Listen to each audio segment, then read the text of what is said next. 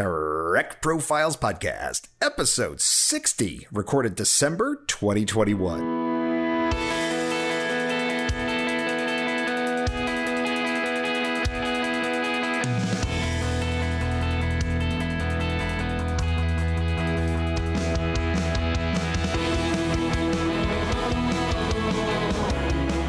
This is the Trek Profiles Podcast, where each episode we sit down with a Star Trek fan. We learn their Star Trek story and we try to figure out why this show means so much to them, to us, and to all of you. I'm John, your intrepid host of this whole enterprise, and I welcome you to this, the Trek Profiles Podcast, episode 60.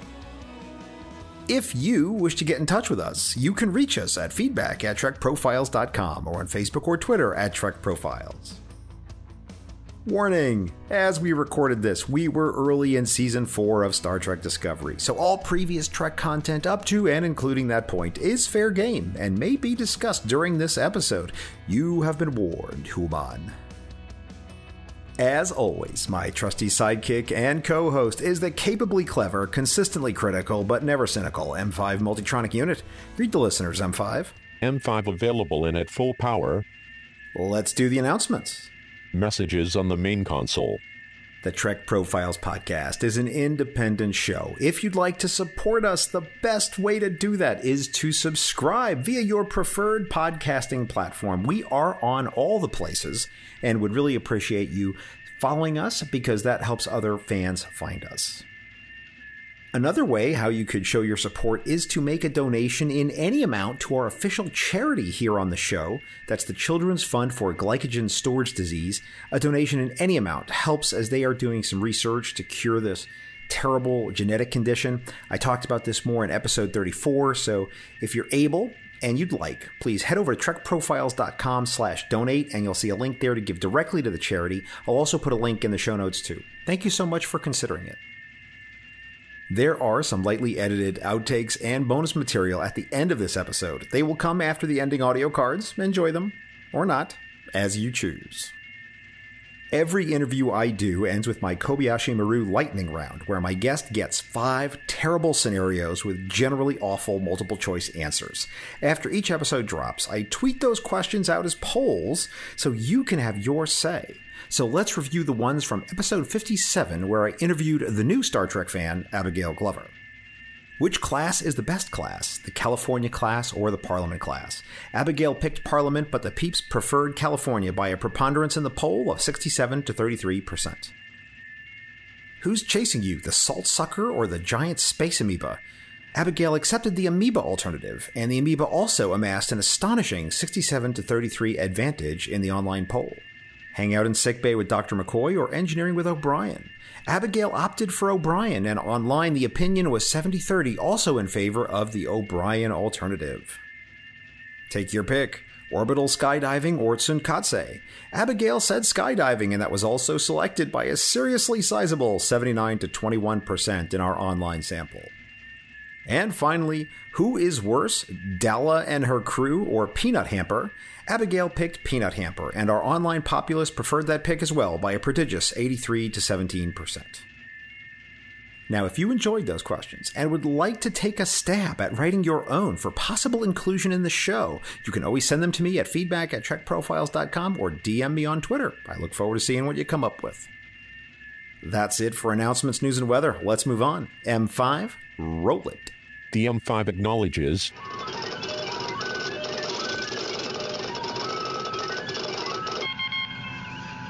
His favorite character is Mr. Spock, but he also loves that mysterious scamp Q. He's a huge Klingon fan and loves that bird of prey, yo. He's currently located in Pittsburgh by way of Las Vegas, North America, Earth in Sector 001. It's Paul Mattingly. Welcome, Paul, and thanks for being on the podcast. Hello, and thank you. So glad to be here. Yeah, it's a real thrill, and uh, I'm really thrilled to talk to anyone who's actually been involved in, at any level in actually Star Trek, broadly speaking. So I'm really excited about our conversation today. But the M5 is a harsh, harsh taskmaster, and he demands that I ask question one, which is, Paul, are you a Star Trek fan? Hija. Is that good oh, enough? That's awesome. and and when did you decide? When did you wake up one day, look in the mirror, and say, "I've decided I'm a Star Trek fan"? When did that happen? Oh boy. Uh, well, I used to go to Kings Island in Ohio as a child a lot. And uh, at that time, when I was around 11, 12, this was the burgeoning uh, emergence of TNG. And it had just become a sensation. So people- la- late 80s we're talking about here? Uh, yes, people sometimes forget just how big that show was. It was one of the top five shows. I think it was number one in the ratings uh, several times, but it was big, big, big, big. So I had become a real fan and used to watch it with my folks. And I had two friends who lived right down the street who were TOS heads. Because I never got into it back in the day, but I was always interested in these books that they had and all this little ephemera that was floating around of of uh, original series stuff. So when Next Gen came out, they were like, "Oh, you got to see the, the Star Trek, Star Trek, Star Trek."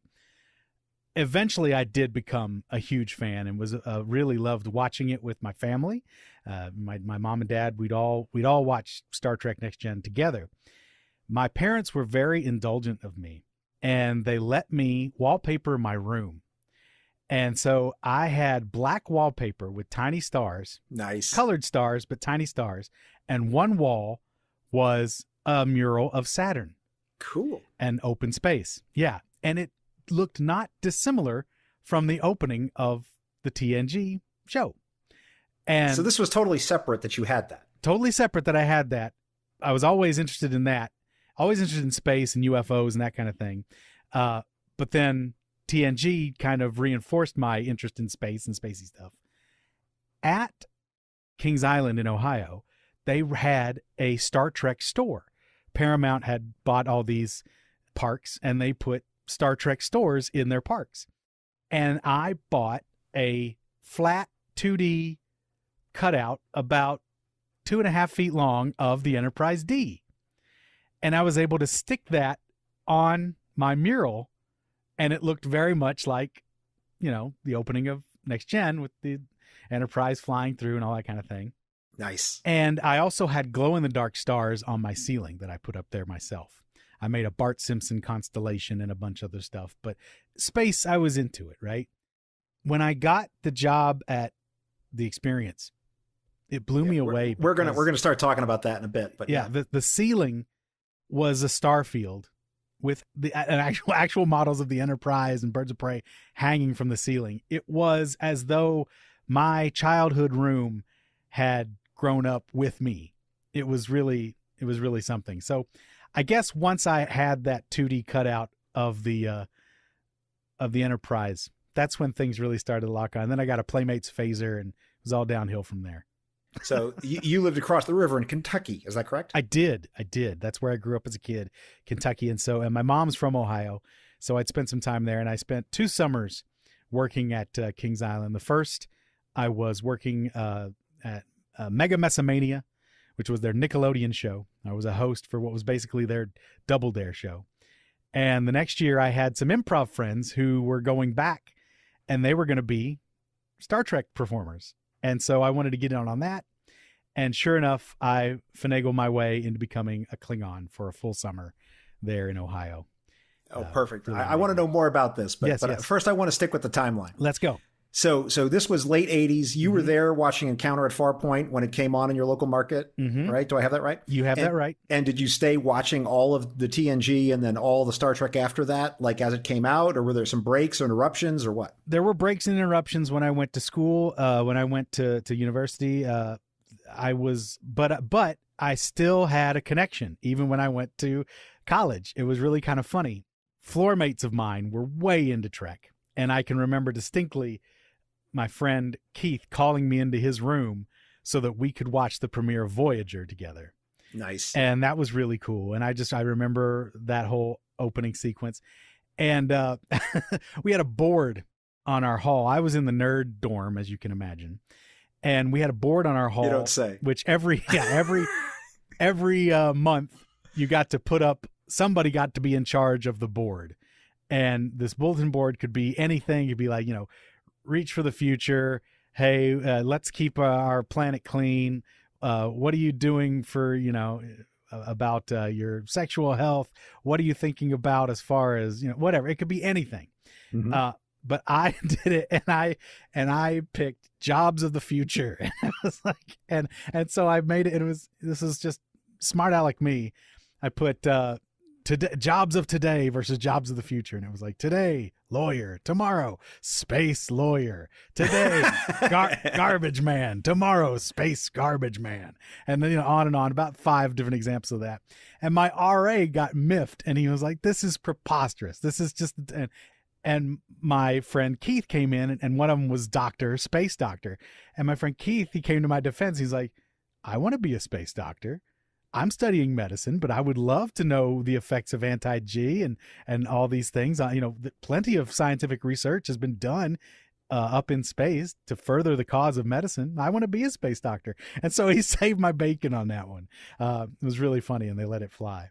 Oh, that's outstanding. And so, at what point did you go back and watch TOS? I'm uh, presuming you have, but I, I, just want to ask. That really didn't happen until I got the gig at the experience. Ah, okay. Until I until I moved to Vegas and was really invested in in because you have to remember it was not easy to watch the original series back then. You had to buy or find someone with VHS tapes of the thing. Now we sold the VHS tapes in the gift shop, mm-hmm. so I would buy certain episodes, and as we went forward, I would buy certain episodes for training purposes, quote unquote training purposes. But it was Absolutely. wonderful to have important a, research to have a, to have a collection, uh, something of a collection. But even it was so cost prohibitive, as you well know. I'm sure you've probably gone through several different iterations of media how your Trek collection has gone, but mine mine certainly has. I'm still in DVD land. I don't I haven't upgraded to Blu-ray. but uh but yeah, I would say that's when I really started to watch the old school stuff and get more acquainted with that. And to honestly develop a real affection for Kirk. And I think he's still my favorite captain now. It was it was Picard for a long time, but as I get older, it's it's more and more Kirk. See, that's interesting to me because one of the theories I usually hear is that like the first captain that you see is usually your favorite captain right. in a lot of ways. Mm-hmm. So it's it's unusual to start with TNG and then decide you like Kirk. So I I, th- I, feel like you have to explain that a little. What's what's happening as you've been mellowing with age here, Paul? I, I don't know. Uh, there were always hints of it even during my time at the experience. I just kind of the more I got into it, the more, there's nothing without Kirk. I, I mean, you know, Genesis. Boom. This is it. This is what it is. For better or worse, what Shatner brought to that character has really fueled, in a large part, this 60 year franchise. You know, it's really brought forward mm-hmm. what's what the, the craziness of it, the, the off the wallness of it. Sort of, you have to respect how nutty he got in some ways because he was trying to justify the absurd. And he did. He did. He made you believe that there was a threat from a rock creature laying some eggs that was clearly made of styrofoam. That kind of stuff. So I guess just more and more I, I grow to appreciate what he contributed and the fact that it all started there and you don't get anything without that nugget as wild and crazy as it may be. Uh, that's that's kind of what it really comes down to for me. I still love Picard, but at certain point I don't know. I, I, I don't. I think it's less mellowing. It's more like rubber hitting the road. Like Kirk will deck you. Picard, Picard's going to try and talk his way out of it. Kirk will throw a punch. I, I remember one of the episodes I, I often talk about is uh, "Move Along Home" from Deep Space Nine, and watching it in that first season. And do you remember this one? Tell me. I, I uh, I'm bad with titles. It, it's the one where they're meeting this alien race for the first time. It's very early in Deep Space Nine. They show up and they just want to play games. Like they, they don't want to have a negotiation. And the, yes, okay, right? yeah, yeah, yeah, yeah. And so they make them play basically play space hopscotch. Uh, at one point. point, and I just remembered looking at this and looking at uh, looking at Captain Sisko, Commander Sisko at the time, and I'm thinking to myself, Picard would never be doing this. Right. Picard would never be doing this. he would never do it. And it's not a statement of values. It's just I appreciated how different he was. That Sisko was like all into it, man. He's like space hopscotch, yeah, let's do it, you know. And he, he off he goes, you know. Whereas Picard would like he'd be more, I, I guess, aloof and sort of, you know, let's let's analyze this sort of yeah, way. yeah, you might be able to get him to to play hopscotch on Picard Day, maybe maybe, maybe, maybe, maybe. yeah. But but even then, but that's I thought that does speak to Sisko's uh, love of games. right You know, on, his, right his on. yeah. baseball obsession and all that kind of stuff. It really was, it was planting a seed there, perhaps. Yep, it all fits right in. I, Mm-hmm. I was all for it. So uh, as we sit here now, we have a whole bunch of new Star Trek too that's being made. Have you seen all the newer stuff? I haven't. Unfortunately, I got a bad taste in my mouth from Discovery early on, which I'm gonna have to go back and and and rewatch. But I was so filled with Klingon lore, as you Mhm. can imagine, I had to be on it because Trek fans were coming through every day questioning me about everything and And you had to have, know. we had to have answers about everything right and we Mhm. did we had to keep up very much because there were ongoing series while we were there that we had to watch as as close as we could episodically because week to week people would come in asking us about what's going on with the Dominion War and all these kind of things. And uh yeah, so when I saw what they'd done with the Klingons, I got really crestfallen. Mm-hmm. The first episode, first of all, they made them just kind of we, we it, it felt like a regression to me Okay. because we'd done so much work. Like always, every time you encounter an alien in Star Trek, give it about three years, they're gonna be in the Fed. It just takes a little while for us to appreciate them and love them, unless they're Romulans. I think that's it. They're the only ones that never will ever be in the Fed. the, Uh, ultimate, th- now, now you've just given it away that you have not been watching the show. the ultimate because, uh, scapegoat. yeah, right. Well, that's what I'm saying. I haven't. I Because haven't that, watched that, it. that's that's on the table now as we record this. Oh so we'll wow. Okay. Well, I mean, why? And I can tell you why it's on the table because they're going to betray everyone because that's what they do. Uh, but uh, but it's so strange. It was just so strange to me right out the bat with Klingons being killed, and then they had this deep concern to go and get the bodies and give them a proper burial. I'm like, what?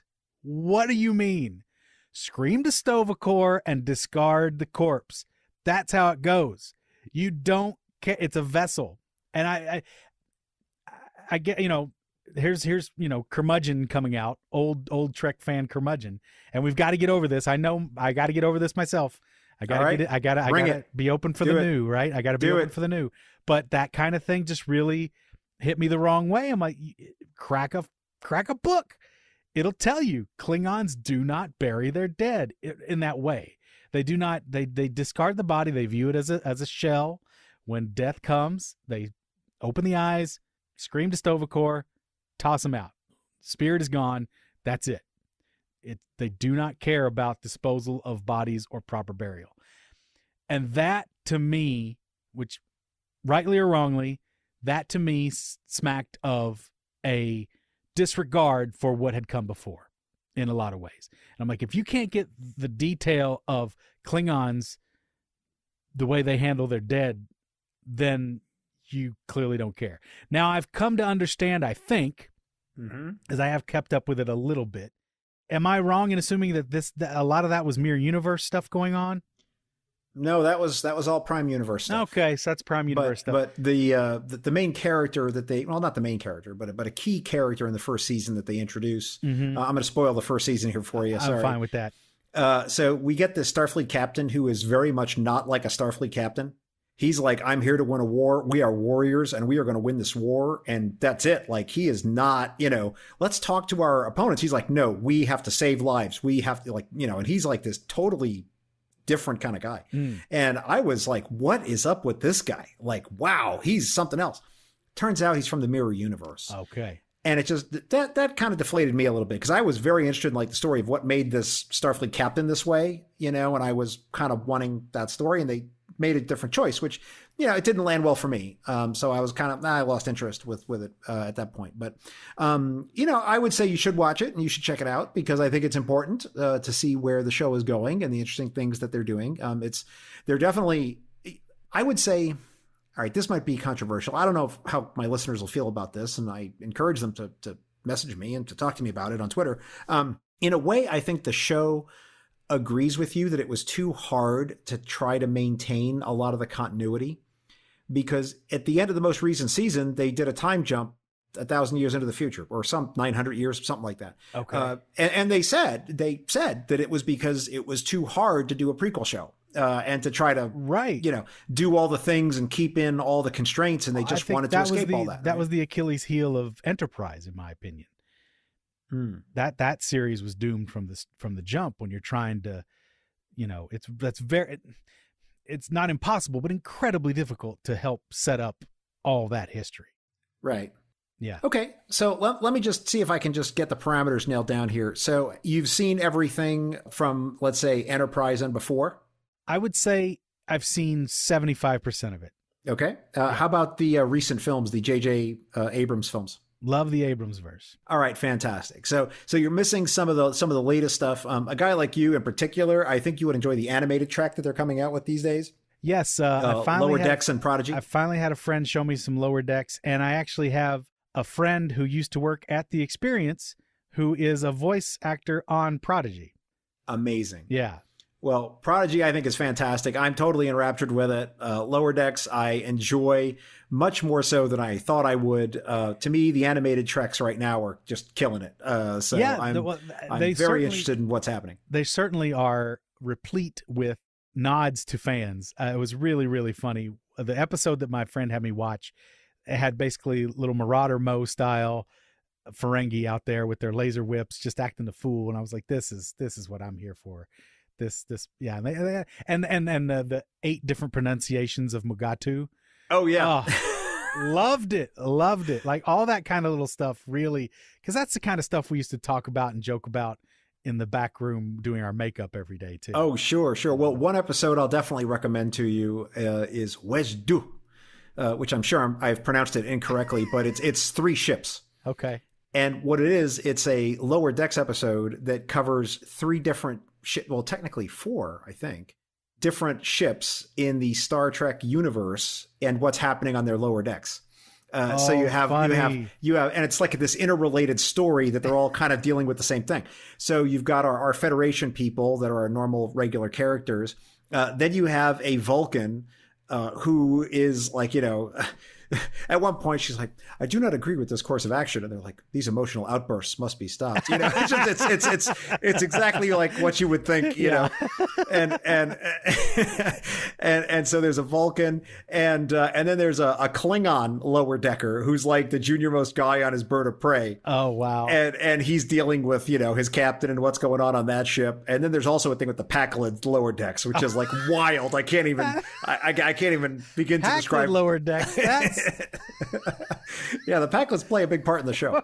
Um so I, I think if if you watch one episode of lower decks to see if it's for you watch that one. I i almost would guarantee that it'll sell you on it. I definitely do need to watch more lower decks because the, what little i have seen i did enjoy and that is my kind of humor. And and knowing as much trek lore as i was forced to absorb it's fun to see because they they do. They just pull from again just one episode i saw which is pulling all these really obscure bits of minutia which there's no end to that in trek. And and it's just really fun to see that reflected uh reflected back. Uh what do you think about the orville? Uh, th- this is my show bro. I, I ask the right? questions. Oh oh, That- oh, okay okay. I'm giving you a hard time. do, do, uh, uh, well, I'll just say for me, that has felt the most Trek of recent live action stuff that I have seen in a while, and really gets me in the feels of next gen with a little bit of uh, snarky haha in there as well. But it's there have been some episodes that have been really moving. Yeah, no, I, I enjoy the Orville. Um, I think I think at the beginning it was a little too much uh, potty humor. I think, uh, and they kind of got away from that and got into something a little bit more A bit more grounded, intellectually right? interesting. Mhm. Uh, you know, and and once they did, they made that move, uh, I was I was more interested in it. So yeah, I watch it, I enjoy it, and I have Hulu for free through my uh, cell phone provider. So I will absolutely watch it.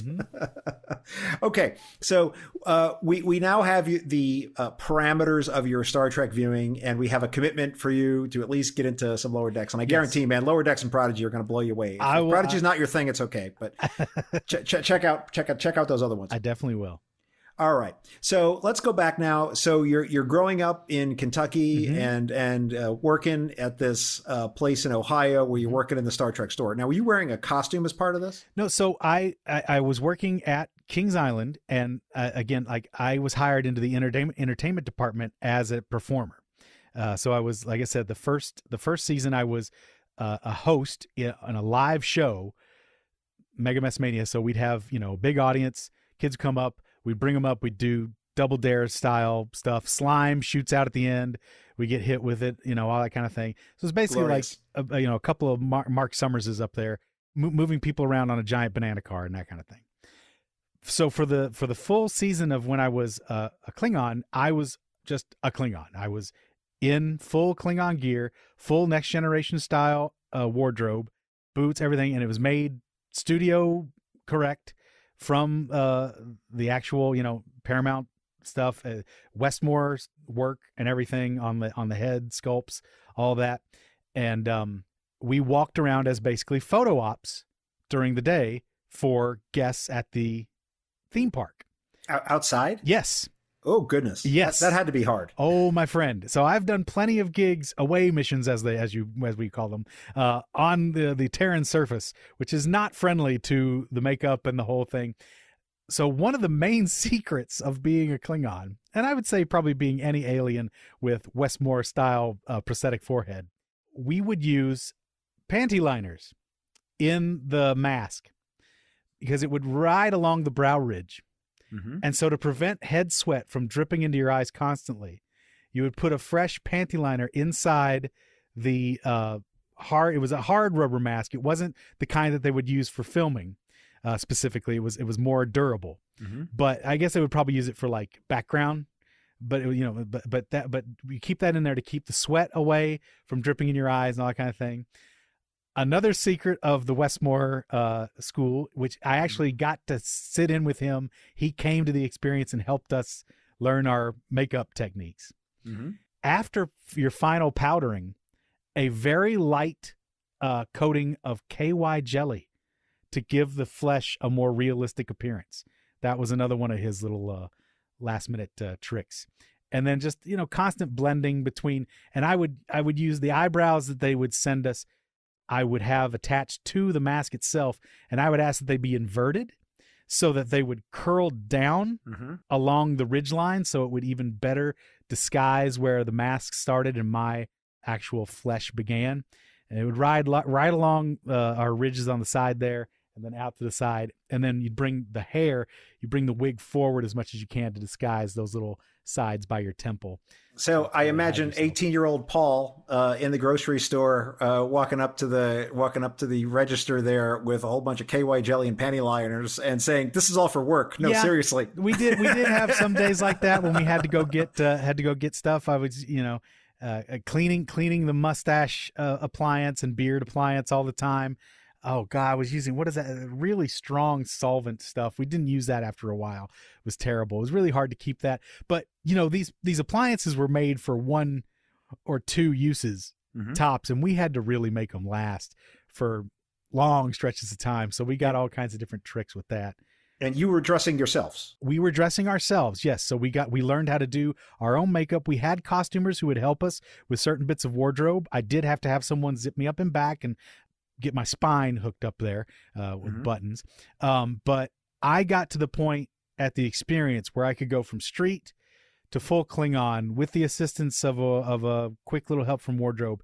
in about 45 minutes That's amazing. you know and and that was you know with full blended stuck on good to go boom yeah So so you're working as a performer at Kings Island. yes And and about how long were you available for these photo ops? I mean, how long were you doing in a, at a stint? we would uh, we would essentially do half hour on half hour off throughout throughout about an eight hour shift uh, you know it ended up being like probably six and a half seven hours after you know because we gave they gave us a little bit of time for prep work uh, and all that kind of thing we'd always go in pairs to try and stay safe because it was i can't tell you all the stuff i had thrown at me and all kinds of craziness. We i, I really came up in the mean streets of character work. Um, so so I, I learned very quickly to how to reinforce my reality. And i had a good friend there charlie. He was a vulcan and Mhm. he was exceptional at his job and a trek fanatic whereas i was just a i at that time i really just dipped a toe into the whole fandom and he was obsessed with going to work for the experience when it opened in las vegas he was just like that's what i'm going to do i'm going to go work in las vegas it was supposed to open in 97 but Mhm. it got pushed back to early 98 Right, 98, yeah. Mhm. So after that summer, my plan was to just go back and do another summer at Kings Island, walking around, taking pictures and glad handing and whatever else theme park work would afford me. But Charlie sent an email out to all of us saying, "Hey, they're still hiring at the experience. They're looking for actors." hmm And I thought, well, who in the world has Klingon experience? So I packed a suitcase and I went for it. And he was kind enough to put me up with him for a, a couple of weeks. And uh, I got in. I got hired. My my chops are from improv comedy. That's Okay. where that's what I always loved and and and that's my main theatrical background. So you studied performing arts in school? Uh yeah, I did. hmm Okay. and I, I I did nerd camp at 17, uh, the Governor Scholars Program, and I was a theater major there for several weeks when we you basically played played college for a while, and that the theater and wh- that's where I discovered improvisational comedy was at at that uh, camp when I was like 17, and that was that was it from from then on. Uh, I knew I wanted to do that in some regard, so improvisation big thing, and so I got hired as as a comedy actor at the end of the ride. Did you ever get to go to the experience? I live in Las Vegas, man. I've Oh. been to the experience many times. So if you'll recall at the end of the ride, when the the the uh, conceit is that a shuttlecraft has smashed into the giant Hilton sign and falls all the way down to the basement. And then a, ha- a handy janitor comes and gets you out of the crash shuttlecraft. Well, I started off as a janitor in that rotation. So I was I was down there at the end of the ride, down there. We're technically above. we they took an elevator down to the gift shop, but I was there for the first not quite six months of '98, and I was just biding my time and champing at the bit, thinking there's got to be a, a a character opening coming around eventually. And sure enough, Oh, so they didn't hire you as a Klingon? they did not hire me as a Klingon, but that didn't hurt to get me uh, on board. I don't think, but I was not hired as a Klingon. No, but the the story, and this is what I firmly believe, they finally had an opening, and they they needed somebody relatively quickly, but they were in contact with the people in North Carolina, which is where all the costumes were being held. Paramount Mhm. apparently had a very large costume warehouse in North Carolina and my boots were there. And they knew, and this had only been eight, nine months since I'd been walking around in Ohio. And they were, I think, honestly, some some bean counters were like, "Hey, these five thousand or ten thousand dollar boots, I can't imagine because they were full leather, you know, just over the knee, hip hip level boots. I can't imagine the the cost. They weren't cheap, but I think a good portion of why I got hired on was because I already had boots nice. waiting for me. Nice. And uh, yeah, and so that was it. And then the rest of the costume they were able to build out for me again, fresh for the most part. But uh, I had my same my my same boots were made for walking from where I was in Ohio. And so you moved to Las Vegas just to work at the experience. just to work at the experience. Yeah, I packed a bag. I was like, well, you know, I, I was gonna be doing uh, theme park work again. I was like, nah, let's let's take a shot. And yeah. Charlie left after about six weeks, eight weeks, and I didn't know anybody. And I was like, ah, but he had an opportunity in California come up. And he went for a real job because he's also a computer programmer. Like I was saying to you, every true Trek person I know, they've got it on the ball when it comes to technology. A, a good chunk of them do. And so he left, and I was just kind of like, ah, but I got my own place for the first time, and I just had to learn a lot of stuff on the fly, and it worked out. Like I said, I got into the character rotation. Uh, I met other improvisers who, funnily enough, a lot of the characters that were other aliens with me were also comedy improvisers, and we got to be working with each other, and it was great. And I was having a great time. This was about 2000. I got bored. Young me got bored. Young me got anxious, hmm and I was desperate to do more improv comedy. Right. So I gave up the gig and I moved to LA to go study with the Groundlings. Uh, if you're familiar with that comedy Yeah. theater. Impro- improv group. Yeah. Right. So I studied with the Groundlings, and before that, I'd actually been flying out to L.A.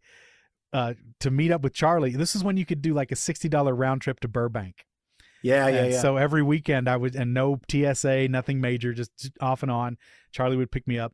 But my first round of classes got canned after four weeks because the instructor ended up getting a job for Conan O'Brien. And I was like, ah, you know, I just got to move out there to get this stuff done. So I did it. I went for it. I moved out there and I took classes and I, I was, oh, I was there for four months. I passed Mhm. my first round of classes on to the next one, but I just couldn't hack it in LA the the town ate me alive. It was just the traffic was outrageous. I felt like I was adding to a problem that I couldn't possibly help solve. And so I came tail between my legs, crawling back to Vegas. And my girlfriend at the time was working there as well. And um, there was an opening in the retail department. And I had oh, to go in the store. I had to in the- go back yeah. into the retail department for six months to basically show them I'll stay around. so, and finally, another character opening came back, and I got to be Voha again. Uh, so that was that was a really trepidatious, interesting time. But while I was working retail, I had returned to Vegas, and I was still kind of bummed because the whole improv Mhm. thing hadn't worked out. Not a week and a half had I come back, and my girlfriend's mother at the time showed me in the paper that the Second City was opening uh, a show and a training center, a show in at the at the Flamingo and a training center. And I was like, this is it.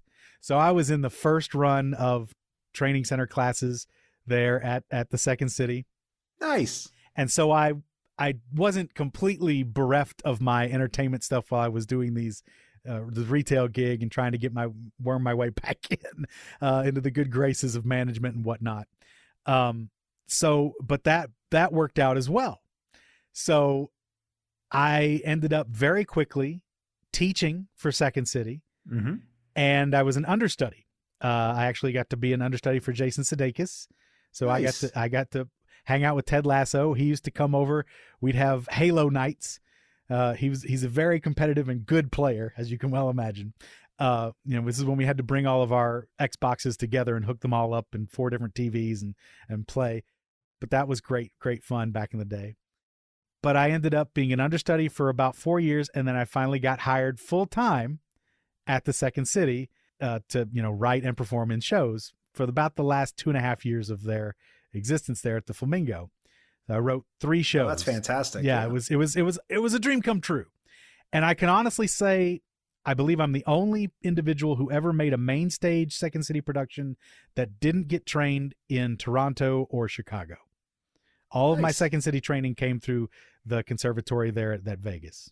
And were you still doing gigs over at the experience? Yeah, so there would be days when I there was a year where I just worked. I would do an 8-hour, which was a truncated. We were doing 12-hour shifts at uh, the experience. I would do an 8-hour day at the experience. They would let me go. I would get a shower there at the experience. I would hop on the monorail which ran from the Hilton to Right. the uh, Flamingo and I would do two shows at Second City that night. It was intense. It was intense. And uh, this was the time when Jason was auditioning for SNL, as were a lot of other of the male cast members. So I was understudying for all three male cast members simultaneously. So I got called in consistently. And when I tell you all I did that year was work, I mean it. 75 bucks a show and a little bit of, of money from teaching with Second City. I made 10 grand from Second City that year as an understudy. It was insane while still full time at the experience. Uh, so it was it was a very hectic but really really fun year and it really uh, got my chops up and uh, yeah. As you recollect the experience of working at the experience, Mhm. um, what was an experience you had out on the floor, out with the folks that stands out to you? There were a lot. Seeing cast members occasionally during special events was always a thrill. Getting to be there with their uh, Spock versus Q, if you recall that uh, audio book that got done by Delaney and uh, Nimoy, they were both there to do a reading from it when they were promoting it, which was awesome. Majel was there a lot, hanging out and just being cool. She was just the coolest. Garrett Wang was the kindest. He had cousins in Vegas. He had family in Vegas. So Mhm. he would come out quite often. he was always the most ready to play with us characters and to truly reinvest in our reality and and treat us like performers and like real aliens uh, which was just so gratifying and wonderful. And you know we could refer to him as harry kim and it was just that was really cool. There were some heavy heavy times. Not maybe three or four times. I remember very distinctly one time a gentleman spoke to me very in a very heartfelt way about how his father who was a big time star trek fan had gone through a battle with cancer and how because I was, you know, as a Klingon, you're constantly talking about the path of the warrior. Right, right, right. Do you do you hear the cry of Kahless in your blood and all this kind of thing? And it it turned into this discussion of my father was truly a warrior and his heart was really really strong and he fought with all he had to try and beat this thing and he couldn't. But I know that his, his warrior spirit goes on and all that kind of thing. And it's just like dude, I mean, it's, it's like, like, don't make my Klingons don't have tear ducts. You can't let me do this. you know, I, I'm not allowed to cry out on the floor. This is not going to work. There were some heavy moments like that, and and not not even that life or death heavy, but just heavy in the whole this stuff, what Star Trek is, and it's so different for everyone. Mm-hmm. What it means to everyone is so different to a man, right?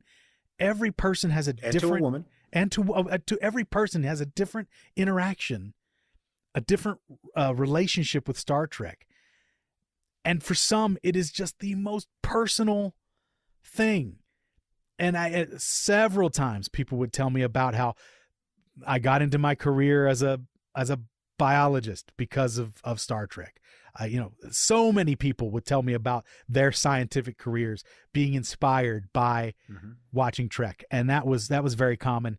Um, and just I I always just felt a real responsibility to do my damnedest out there because even though I had done it thousands of times, this was going to be the first time individuals were going to see me, the first time they were going to interact with a Klingon. And I wanted to try and be as authentic and as true to what I understood a Klingon should be, should be. So, what would go through your head when you would see like a group of the uh, civilian Klingon fans out there uh, coming your way across the floor? for the most part, we would do our best to interact with them in a kind and and and cool manner. You know, we we did, you know, we were uh they Trek fans are are some of the most welcoming and kind anyway. We had to always gauge it a little bit to make sure they didn't get too rowdy. That was always a concern. But for the most part, we'd sing songs together and talk smack and yeah, it was it was actually pretty great. Convention time was always a highlight Oh, sure. for many years it was held there at at the Hilton. So when convention time rolled around, oh man. And those on some of those days and this didn't even have to be convention time, but if there were good patrons, Mhm. you could catch some of us characters just being out on the floor for like 2 hours straight before we had to go do touch-ups and take a little breather, but we would we we loved it as much as they did. Yeah. Yeah. Oh, that's amazing. So, you, you stayed at the experience till it shut down? almost uh i was part-time by the end of the experience so in 2008 i was just doing backstage tours occasionally and i'd come in if they needed an extra klingon for a special event but my Like a Klingon wedding or something on the bridge? yeah which i did tons i did tons of klingon weddings we all did that but i was doing backstage tours that was kind of what i i fell into uh, towards the end there because I was full time at Second City. It's it flipped uh, for Mhm. me. I was full time Second City and just doing part time stuff at the experience. But yeah, I was there and um, I was there for the final day, and I wasn't working that day, but I dressed up in a nice little suit with a little Klingon lapel pin and went and talked to people. And I was doing some interviews and things for another podcast that I was working with at that time. It was Geek Shock, uh, which was my uh, friends from the experience who we all were nerds and we talked nerd stuff. And that was, uh, that was what, what the genesis of that. Funny enough, Ron Lucas was there. I don't know if you're familiar with the ventriloquist Ron Lucas. Uh, he had that dragon puppet that, that, that for a long time back in that this was a, a Oh, yeah. yeah, yeah, yeah. Yeah, yeah, yeah. Oh, now I remember. Right. Mhm. Trek fanatic. and I got to talk with him about his Trek fandom. And you can still find that video somewhere on the uh, Geek Shock uh, Ugly Couch Show webpage uh, if you do a little bit if you do a little bit of digging. Uh, which also I will say, if you go to the Ugly Couch Show uh, webpage, if you're really interested, there are the legit, honest to goodness, real deal uh, recipes for the drinks at Quarks From Core the- Breach and all that from stuff. the bartenders who worked at Quarks. nice. I am still buddies with several of those bartenders. Uh, who uh, one of them works at McMullan's. If you're so you're you're out in Vegas still. So, Oh yeah, yeah, yeah. yeah. If you, you Oh go- wow. yeah, you should go say hi to Darren. He'd love to talk, and he'd actually be a great interview as well. Yeah, yeah. Oh, that's You- you glorious. should definitely hit up Darren at some point. So, were you at the 10th anniversary of the shutdown uh, that they had at the Millennium Fandom Bar? It was quite the event. I, I was, was there. It not. was awesome. I was not there, but uh, lots of my friends were there, and I got to see lots of uh, photos and remembrances of the time. Yeah, it was uh, it was wild. Yeah, I, was, I was hanging with April for a bit and Vernon yep, and everybody. It was yep. fantastic. yeah, Vernon became I, I called him our de facto um, Okuda while he was there. He was the guy who was always cataloging everything, and he was one of he had one of the first uh, digital cameras, and so he was he, a lot of the great photos that you see from the experience are from like 2005 on when he started. Because he had a, a decent camera, we we didn't, didn't have cameras on our phones and everything. We just it Right. Yeah. it It's not like it is today. it's Yeah. so weird thinking about uh, uh, even up to 2008 it was really hard to capture video of any kind of quality and or, or a lot of pictures but yeah. So he uh yeah he and april really carry the flame and it, was really really sweet to see at the end of the the whole thing april and she was the first hire and the, she was the last one out the door basically too at the experience. She she kept the flame going. And she always does an annual christmas party uh, that all of our old school guys go to. And I haven't been to the Christmas party in a long time, but uh, I went about four years ago, and it was great to see everybody again. And yeah, it's a, it's a it's a family. It's a weird, dysfunctional, crazy family, but it's made up of not just performers there, but a lot of patrons who would come all the time too. It's, Mhm. an interesting conglomeration of people that were all brought together with Trek. Yeah. Oh, that's fantastic. So I imagine in all of your working at the experience and in your history with Star Trek that you've probably amassed uh, some kind of collection. I had several. I've gone through so many collections at this point. I am a toy collector Okay. by nature. I still have a couple of figures. I've got I'm, I'm setting everything up again here to put on display. I've got Star Trek Catan. Nice. I've got a couple of the plush bears that the experience sold from back in the day, the Vulcan bear and the Klingon bear, which actually had a really crazy hard rubber head, uh, nutty little piece. I've got a couple of Klingon drinkware pieces. I have four giant Quarks mugs, which were the best soup mugs you could ever ask for. Microwave safe, big giant white mugs with Quarks on the side. Um, so I have a few collectible pieces from that. I used to have a lot more of the Playmate ships, but I got rid of those. My pride and joy, I have Klingon prints. Well, I have a I have the poster from the opening of the experience, Mm-hmm. which is the Warp and Ride commemorative poster. I have that. And then I believe it's the same artist. I have two pieces that I bought from the Admiral's collection, Nice. which was our which was our our fancy that's the top shelf line. Mhm. Yeah. So I went to the top shelf spot. Well, I still had the discount, and I got the two two Klingon prints. One of them has a bird of prey flying over uh, Kronos, uh, you know, with a blue sort of hue to it all, and the other was the cover of an Omni magazine back a long Mhm. time ago as well. That Oh, piece I was a subscriber to Omni Magazine. so you probably remember the piece flying over these reddish mountains, uh, and then sort of some cityscape uh, in the mountains themselves. Uh, beautiful piece, uh, signed by Herman Zimmerman.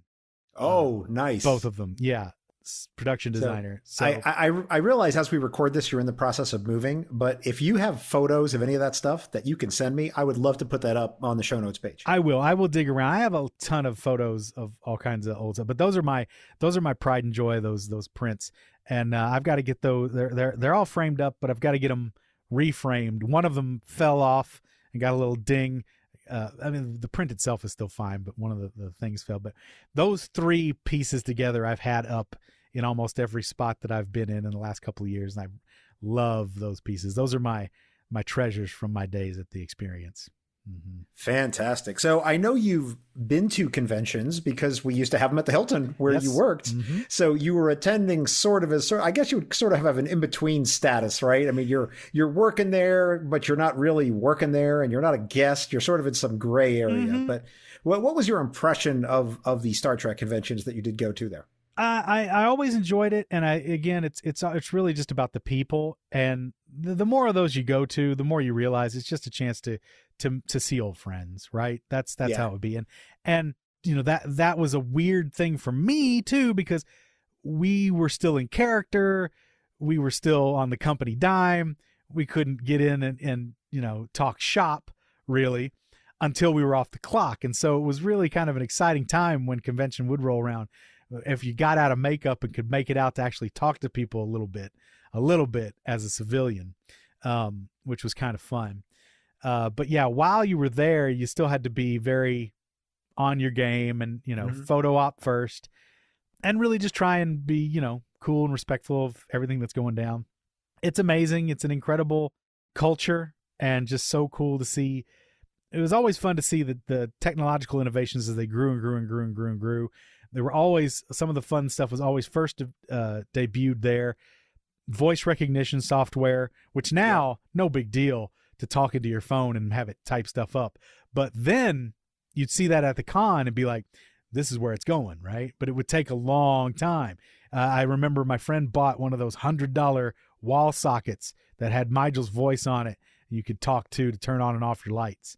And it was like it was just like it's like a really high end clapper that you could scream at and that would kind of work. But it was just like the the the the, van, the tech advancements that was something that i always found fascinating i, I, I had a pc game that was I, I could look it up but i had whatever pc game it was and this is quite a while ago uh-huh. um, that was the klingon language tutor. Uh-huh and and it would give you things to say, and you had to speak it into your computer microphone. oh wow! Grade you. oh, this, how the, funny. The, this this technology barely worked. Right. The, the, voice recognition worked. was just kind of like, mm. right. or or maybe I'm just covering up for my terrible Klingon accent. I There's, don't know, but it, the Klingon accent. I mean, when you when you when you really break it down, and you realize it was all just based on guttural grunts from James Doohan from the yep. jump. Like that's the start. I mean, Mark Okrand really fleshed it out and and gave it sort of a a, a very uh, Hebraic flair with all because he you know that he was a master of uh,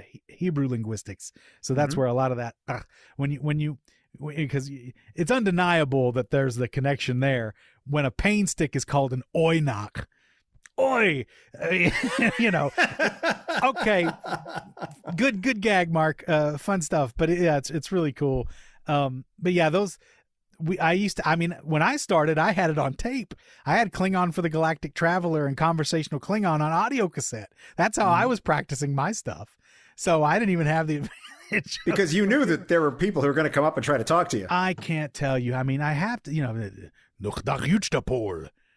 uh, well, I'm not going to tell you. Uh, you know, that kind of thing. It, it's stuff like that. You have to know these phrases. So I, I guess I just want to dwell on this for just a moment more, maybe just another question or 2 mm-hmm. uh, which is, as someone who was a Star Trek fan, how was it actually working in Star Trek as a fan? I mean, w- were you getting exhausted at some points, or could you not get enough of it? I mean, h- how did you manage that? It was tough keeping up with the day, the week to week episodes, but small price to pay to be involved in something so cool. I, I mean, there came a point where, especially after I left and came back, I understood how special that place was. And so, no, I, I never really got tired of it. I mean, every job becomes a job, right? Doesn't matter. Mm-hmm. You know, you can talk to the people who were on the shows. They were like, yeah, I'm like, my God, if you've heard the, the horror stories like from Kate Mulgrew when she's having to juggle uh, rearing her first children and all the, you know, it's like, how could you possibly be a new mother and keep up with all that, even if you're getting to go play in space? It's just, yeah, yeah, it's, yeah. you know, there's, so, you know, the realities of life can sink in, but that was the other beauty of it. Well, like, like I talked about before at, at, uh, Kings Island, I'm dealing with these hyped up teenagers screaming just coming off of a roller coaster, right? And they're wanting to fight and get crazy and, you know, all the kind of stuff that teens want to do. And, you know, ah, hey, space guy, blah, blah, blah. Let me throw pennies at you. Uh, crazy. But at the experience, everywhere you turned, our reality was reinforced, not yours. You were the you were the guest. You were the invading force. This was a place where aliens could clearly exist. So that was something really special. And like I said, having come from the parks, knowing Mhm. how special it was to have such a fully realized 3D environment to play in, I didn't take that for granted at all. Fantastic. Well, the M5 is suggesting that I ask you about some episodes. Are you game? I'm ready. All right. Well, one of the first episodes that the M5 suggested that we talk about is not an episode at all, but it's a movie. Uh, Star Trek Six: The Undiscovered Country, and the M5 tells me that this this movie is of particular interest to you, and so I want to ask you why he thinks that. I, I love the movie. I think it's one of the best ones, but it's what it means to me in the grand scheme of my journey with Star Trek. This was something I went to see while I was in college with my friend Keith, who was always pushing me to check out more Trek stuff. Mm-hmm. And I got to see it in the theater. First Star Trek film I'd ever seen in the theater. Uh, I'd seen four on VHS as a kid, and five everyone kind of shot, shooed me away from. Uh, even my Trek fan, friend fan friends back in the day were like, "Ah, you can pass on five. Ah, there's no passing. You have to watch it all. I mean, I, I, I'm I've, sorry. I've since I've since corrected the error of my ways, uh, but uh, but it was just uh, it was awesome. I really enjoyed it in the theater, and having no idea what a huge part of my life would be being a Klingon and seeing all this. And Keith ended up, uh, like I said, he was a big Trek head also. I knew one day he'd end up at the experience, as I'd lost touch with him. mm-hmm.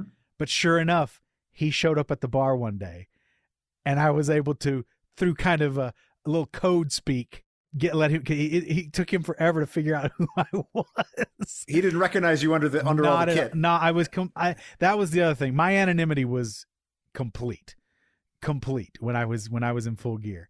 That a very different affectation in my voice, and you know, all of it. Yeah, I, d- I, I do not sound like me at all as Voha, and I can maybe do a little Voha for you. Uh, a little. G- give me a little bit of that Klingon Let me, let, me, let me get a little water. It, it it would take me a day to really get in there.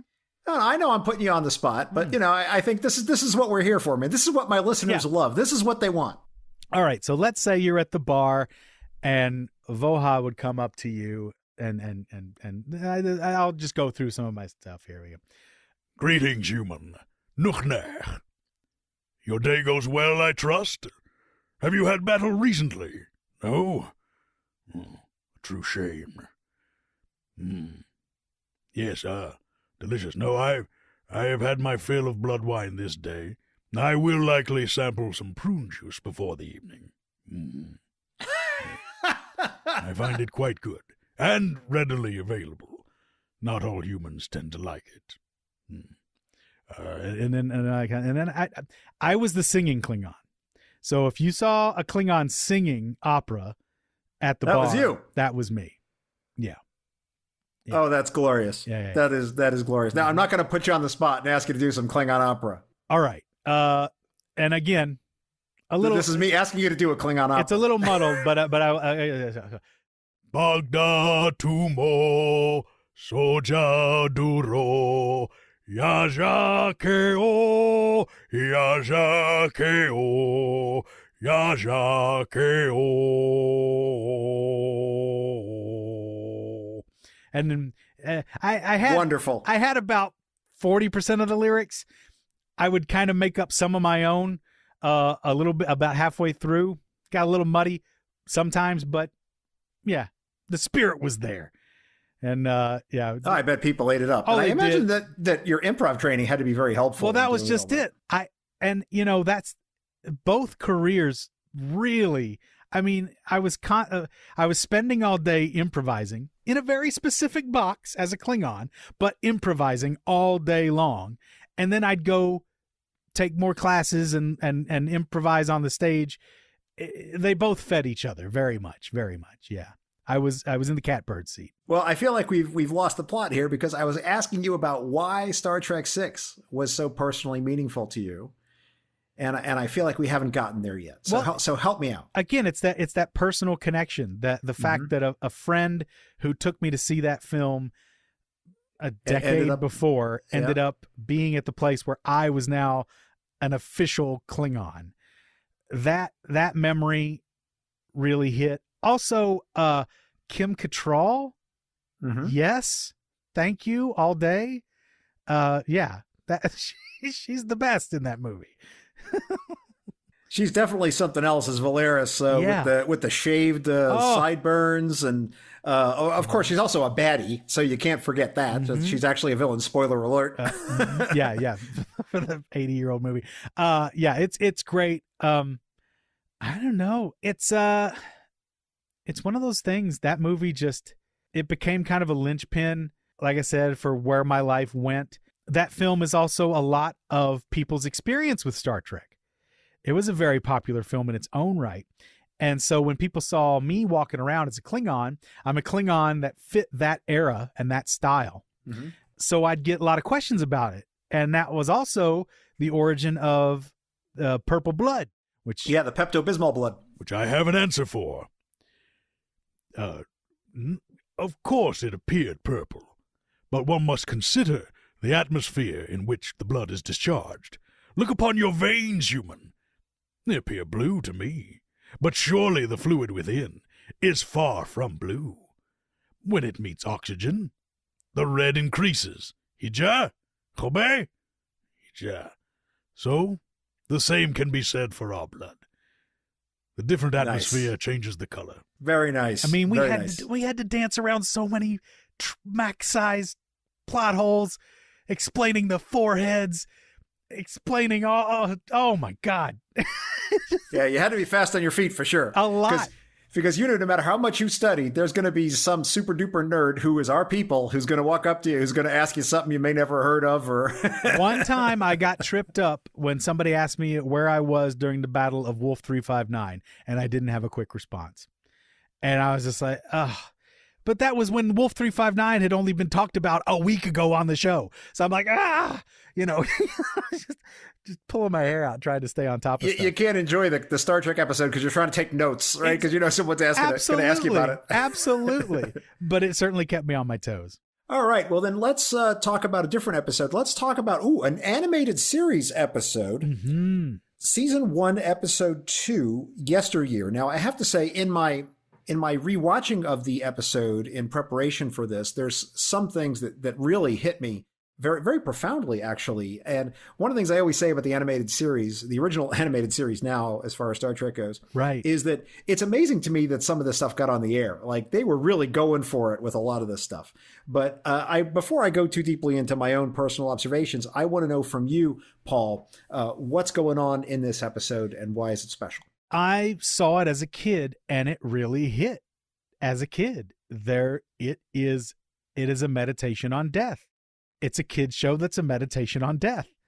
Yeah, And you got to Saturday morning cartoon be, yeah, style. and you got to be ready for that. And it's it's wonderful. It's so well done. That's a home run.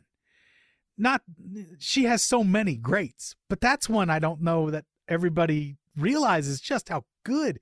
And that episode, aside from how good it is just as a self-contained interesting story, and Mm-hmm. it is a really good episode of Star Trek.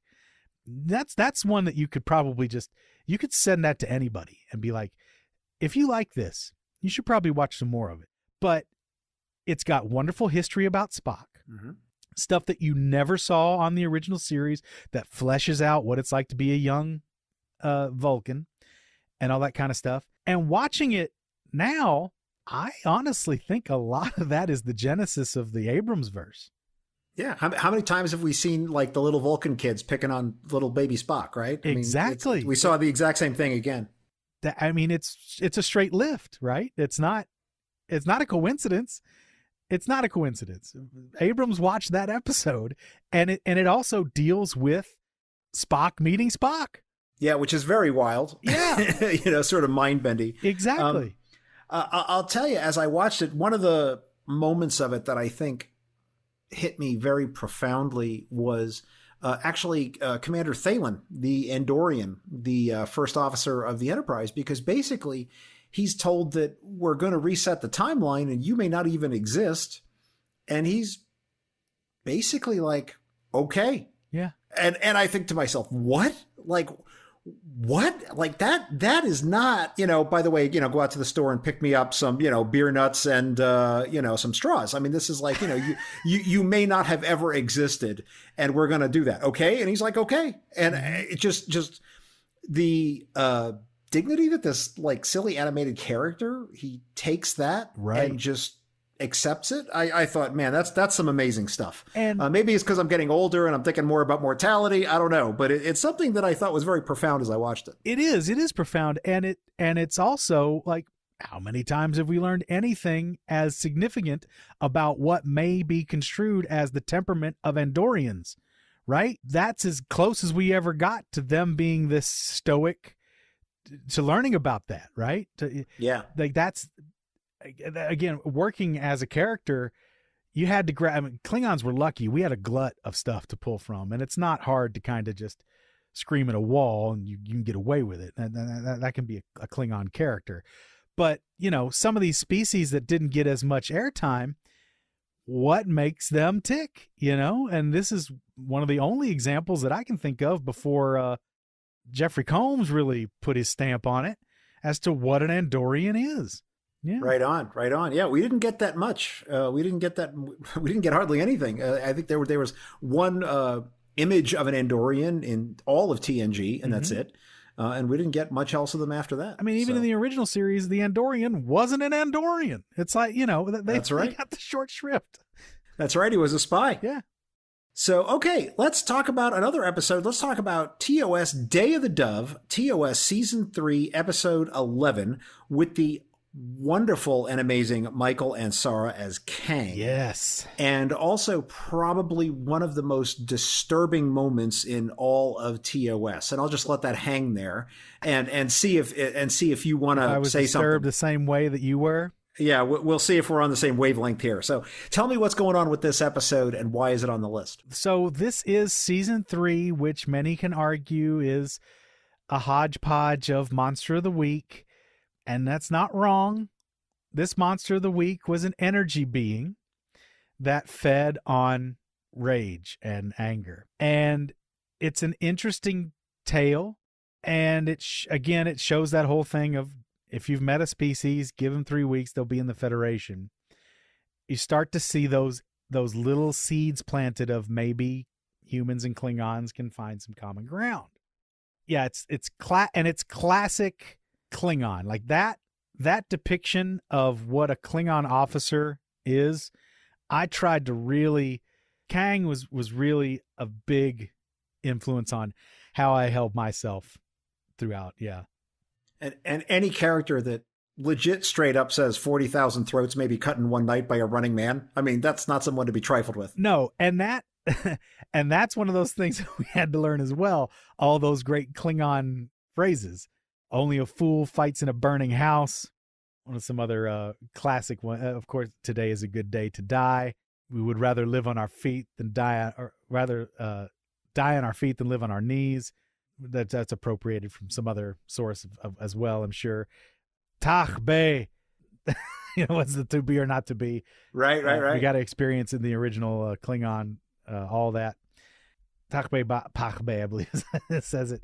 Uh, but yeah, the way that Klingons were depicted there, there's a certain charm and dignity that, uh, uh, you know, because for two seasons it's like, oh, Captain, they're, they're savages. They'll kill us all. They're monsters. Just kill them. You know, we start to see that no, there's there's a society there, right? That's something I also had to bring to my work too. Was like, you know, I had to say straight up, hey, not everyone hears the cry of the warrior in their blood. Not every Klingon goes off to war. Some must bake the bread. You know, I got Klingon chef right here. right Klingon some, chef. He's some right above me. Some must me. bake the bread that's what i would always say like how can you you you know we are as diverse a people as any but uh but your your federation is not always quick to see the differences and the diversity they just want to focus on the military power and the military uh, prowess. And it was just interesting to see a military man show some other sides of his personality through his companion through his wife you know and that kind of thing. And it just it, again we always it just takes a little while and we humanize every species we encounter. Uh, we find some empathy we find some common ground which is great which is great. That's what trek's all about i think that was one of the the starting points for klingons being a little more uh, uh, humanized and uh, emp- empathetic one of the things I love to point out is when you go back to the very first time we see the Klingons in person, which is, of course, the episode on Organia with Kor and all of that, and they're they're talking about the origin of their conflict. The very first thing that Kor says as to why the Klingons are enemies of the Federation, the very first thing he says is he says, "You have interfered with our trade." It's the very first thing he says, and and you think to yourself, "What is that? Is that?" You have interfered with our trade therefore we're enemies. Like that's that's the first thing that comes to his mind. I i realize that you know they were not trying to world build in the way we do today No. but i just love pointing that out to people. Yeah. that that was the thing that he brings up. Like the very first klingon we actually meet the very first thing he says as to why they're enemies of the federation is because like you're interfering with our trade. It's a very non-klingon thing to say. I love it. and lucas stole that for the prequels. The first thing is all starts off with trade wars it's all about Oh, that's right. Oh, so you're you're trying to bring some Star Wars in It's here. all about well, trade. I, it's all about trade blockades. uh, I got the deflectors up, man. We're not gonna we're not gonna talk about that. No Uh, worries. no. Uh, so so tell me about this disturbing moment in the episode because I, I really feel like we got to talk about this. Uh, it's something that you know maybe at the time when you know eight year old Johnny was watching Star Trek, I probably didn't pick up on uh, how insane it was, but. Uh, there, it, it's very much hinted that Chekov was going to rape the Mara character um, in the episode, and I, I found it quite disturbing and, and quite reprehensible. Um, even though, of course, they're under control of this alien Right. being and all that, but I just think to myself, I, first of all, I can't believe they got it on TV. I mean, just at a meta level, like I couldn't believe they got as far as they did with what they did show and sort of where they were going with it. I thought that was like amazing as far as just the actual ability to get it on the air, but um, also it was just rather disturbing, and it's disturbing today still. Um, I'm wondering what your impressions are of it. Well, that's just that's just it, right? And uh, original series is part of that too. When you've got the censors breathing down your neck, you get creative, and you do push harder, right? And it's all about implication and nuance and the violence that you don't see, right? Because it becomes that much more horrific in your imagination. And that's a that's a strength of the entire series, I believe. And I think upon that with like just having rewatched a lot of these and thinking about Star Trek 6 when Praxis explodes. Mm-hmm. It's a quick cut to a matte painting of a moon blown up and then about 10 seconds of a very wavy, bad, interference laden broadcast from a Klingon screaming in pain and his the place he's broadcasting from, the room he's broadcasting from is on fire. And that's about it. And then you cut to the chancellor or one of the chancellor's assistants coming up and saying, "Everything's fine here. We're cool. We don't need any assistance." And just to intuit the level of you know you can multiply the level of horror that's happening on a world that just expl- over half of it exploded away. What you can envision the horrors you can envision in your mind are exponentially more terrible than anything a special effect can show you. And that's trek is very good at that. Very good at letting you fill in the blanks and and go further through their implications and and just the raw emotion behind what they're what they're putting out there. Earlier on, uh, I don't remember if this was actually before we started recording or not, but you were talking about uh, William Shatner and how your impressions of him as an actor have changed over time. And you talked about the fact that he had to sell it. And I think that that is actually one of the endearing things about TOS is that because the effects were at the state that they were when they made the show and the budget that they had was what they had, that the actors really had to sell these things and they had to believe it, right? Which today, and you know, this is not in any way a negative comment at any of the actors who are on modern shows, especially modern science fiction shows, is that they don't have to sell it, right? I mean, the effects are so good now, even on a TV budget, that you know, if they want, you know, two worlds colliding, they can do it, Yeah. right? They they can make it, and and you can see it. Whereas in TOS, they didn't really have that. So they had to rely on more of the actors' responses and you know these sort of things. I mean, there's there were times we didn't even see an enemy ship. We're just told there's one out there in the show because they didn't have the budget to show it to us. Right. You know. Yeah. And I, I think that's part of it here um, is that the imagination of it can be more horrible than what they actually show you. Yeah, Right? there's what's more what's more terrifying than an imagined invisible enemy, an imagined threat. But also, I think there's something to the uh, overcoming the uncanny valley where we find ourselves currently. You know, there's a there's a certain point to me where a lot of this effect stuff it just doesn't resonate at all because you just see 80 million invading ships fly through a part of the nacelle and you're like "Wha- wha- is this even happening? Is it what what am i even looking at? It just looks like such a, a mess. It's almost too much to process. It's impressive but it it loses that raw connectivity. Like when the when the m113 salt vampire turns around and gives you that goofy mouth open freak show look yeah it's it's saturday morning cheese but it's also like weird old haunted house right? Like that that stays with you. That very it's a very clear re you your mind knows it's real. Whether it thinks it's silly or not your mind knows that is a tangible object created from actual material that is being that is reflecting light and interacting with other people in a way that is tangible. And that's horrific too in its own way even though it's a goofball monster i really saw that gorn touch captain kirk.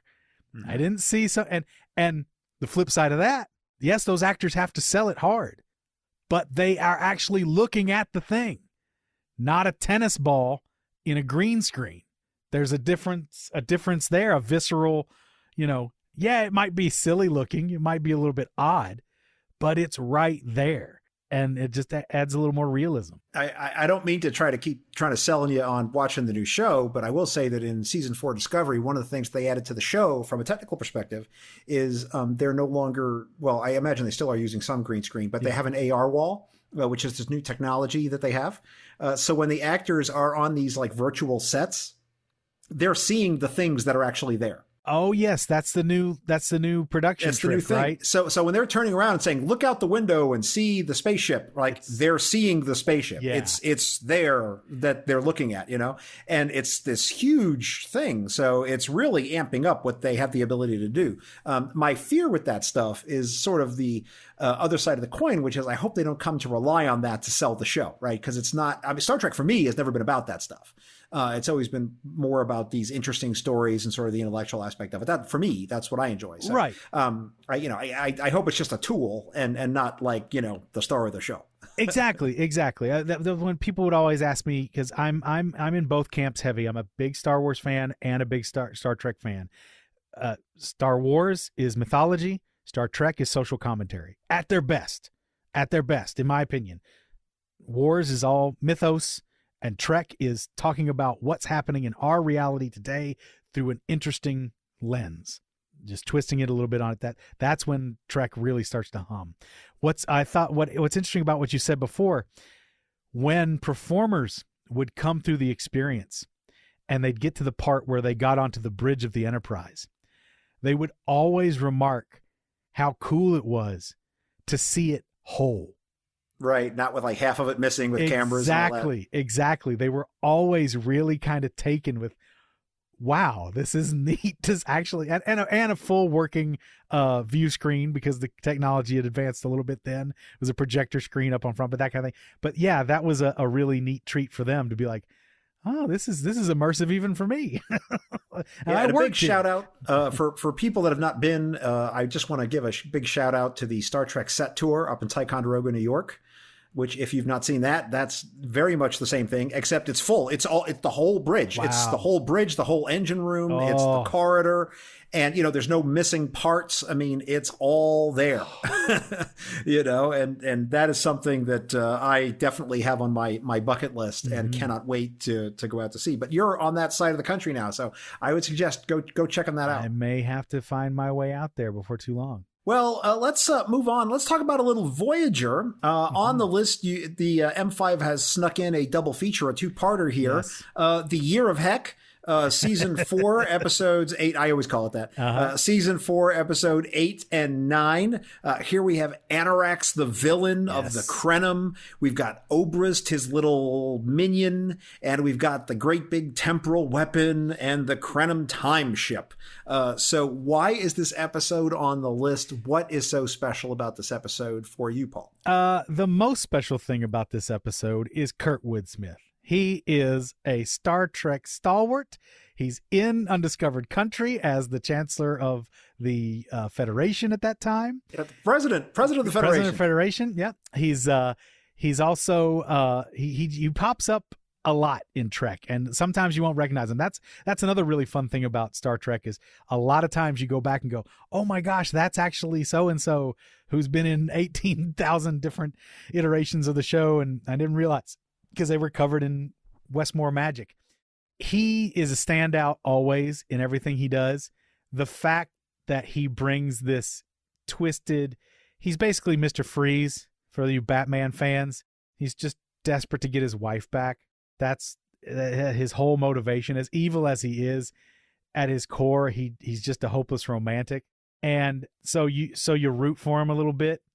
Chakotay gets swept up in his in his plans Mhm. and starts to see, oh, maybe there's some logic to destroying countless uh, civilizations to try and Yeah, fix one. Erased billions of lives. I mean, the man's a monster. why not why not let's see what we can do here yeah but it also goes back to that uh that animated episode and like you know talking to the andorian hey you're not going to exist anymore okay yeah.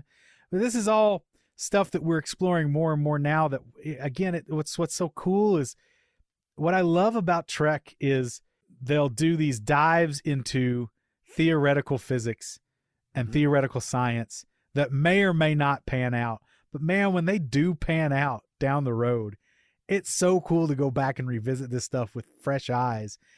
And, you know, the possibilities of multiverses and how many times he generated how many countless multiverses by over and over resetting this area of time space. And what even is that?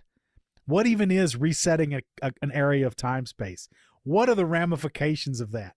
Just it's the whole episode you could probably do a doctoral thesis on if you knew enough about temporal physics and quantum manipulation. I, it's way above my depth, but man, it's fascinating stuff to ponder. I love when Trek just gets me thinking in big weird ways, and this episode gets you thinking in big weird ways. Is it does kind of hit the reset button at the end, but you know it there's so much other stuff happened it sort of got that little taste of the inner light there too of like oh what? Was this real? Was it not? What's a dream? What's what is a civilization? Uh, you know You know, Paul, when it comes to the reset button, I mean, Star Trek gets a lot of flack for hitting that button uh, more than a few times. hmm, Uh, but I will say that in, in the year of hell, it's organic to the show, and it's it's a time when it doesn't bother me at all, right? I mean, Yeah. It's it's it's totally authentic, and it's how the episode would have gone, Completely. and I, I totally get it, right? There's times I have been disturbed when watching a Star Trek episode that I think, you know what, if if this thing happened in episode five, like in episodes six, seven, and eight, this person should be in counseling or you know, like having psychological problems, right? Like right right right but but then they're like the very next episode, they're like, let's go play some Parrises squares and hang out on the holodeck or something. And I'm just like, what? You know, it's uh, it's You're very right. weird. You're right. Deanna Troi herself has suffered at the hands so much. Oh, yeah. Well, this is also what I bring up when people want to talk about how serialized Deep Space Nine is, and I always say it's not as serialized as you think it is, bro. Yeah. because because if you look at how many stories there are like this, like where something really terrible happens, Uh-huh. you know, to a character, and Yeah. like next episode they sort of minimize it or forget about it, you know, and you think, well, what, you know? How is Garak able to get up in the morning? That's the Oh my god, right? Totally doesn't make any sense. yeah.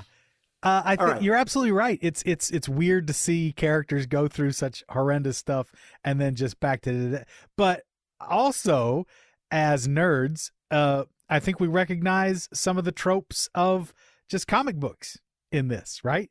This is what comic books do, and if you're a fan of science fiction and comicdom, you learn to, if not appreciate, at least accept this on-off switch that happens from time to time with new creatives and new directions. I, I will say that I think in the newer Trek, uh, Prodigy, uh, Discovery, especially Discovery and Lower Decks, um, they have not fallen prey to this. That's like, good. Like things actually do hold over, and Right. if there's a hurt, it continues to hurt, right? And they Yeah. they can fix it, they can remediate it, and you know things happen to make them feel better about it, but they're still a hurt, you know. And I, I do like that. And that's wonderful to see and and again indicative of what I love best about Trek. It's it's social commentary and we're in the age of it's not a stigma to go get some therapy and seek some real help, Mhm. right? So I mean that's going through these things not you know we're not we're no longer suppressing our traumas.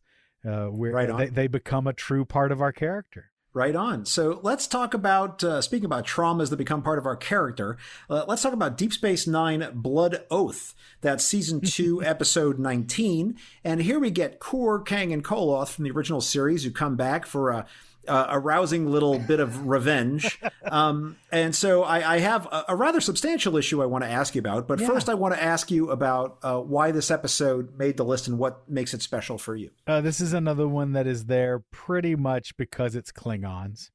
Uh, that's a big part of it. And again, it was another way, another a keystone for me to go to to to learn about how to behave as a Klingon. Uh, because our timeline was set that we we came back in time around the start of DS9, chronologically speaking.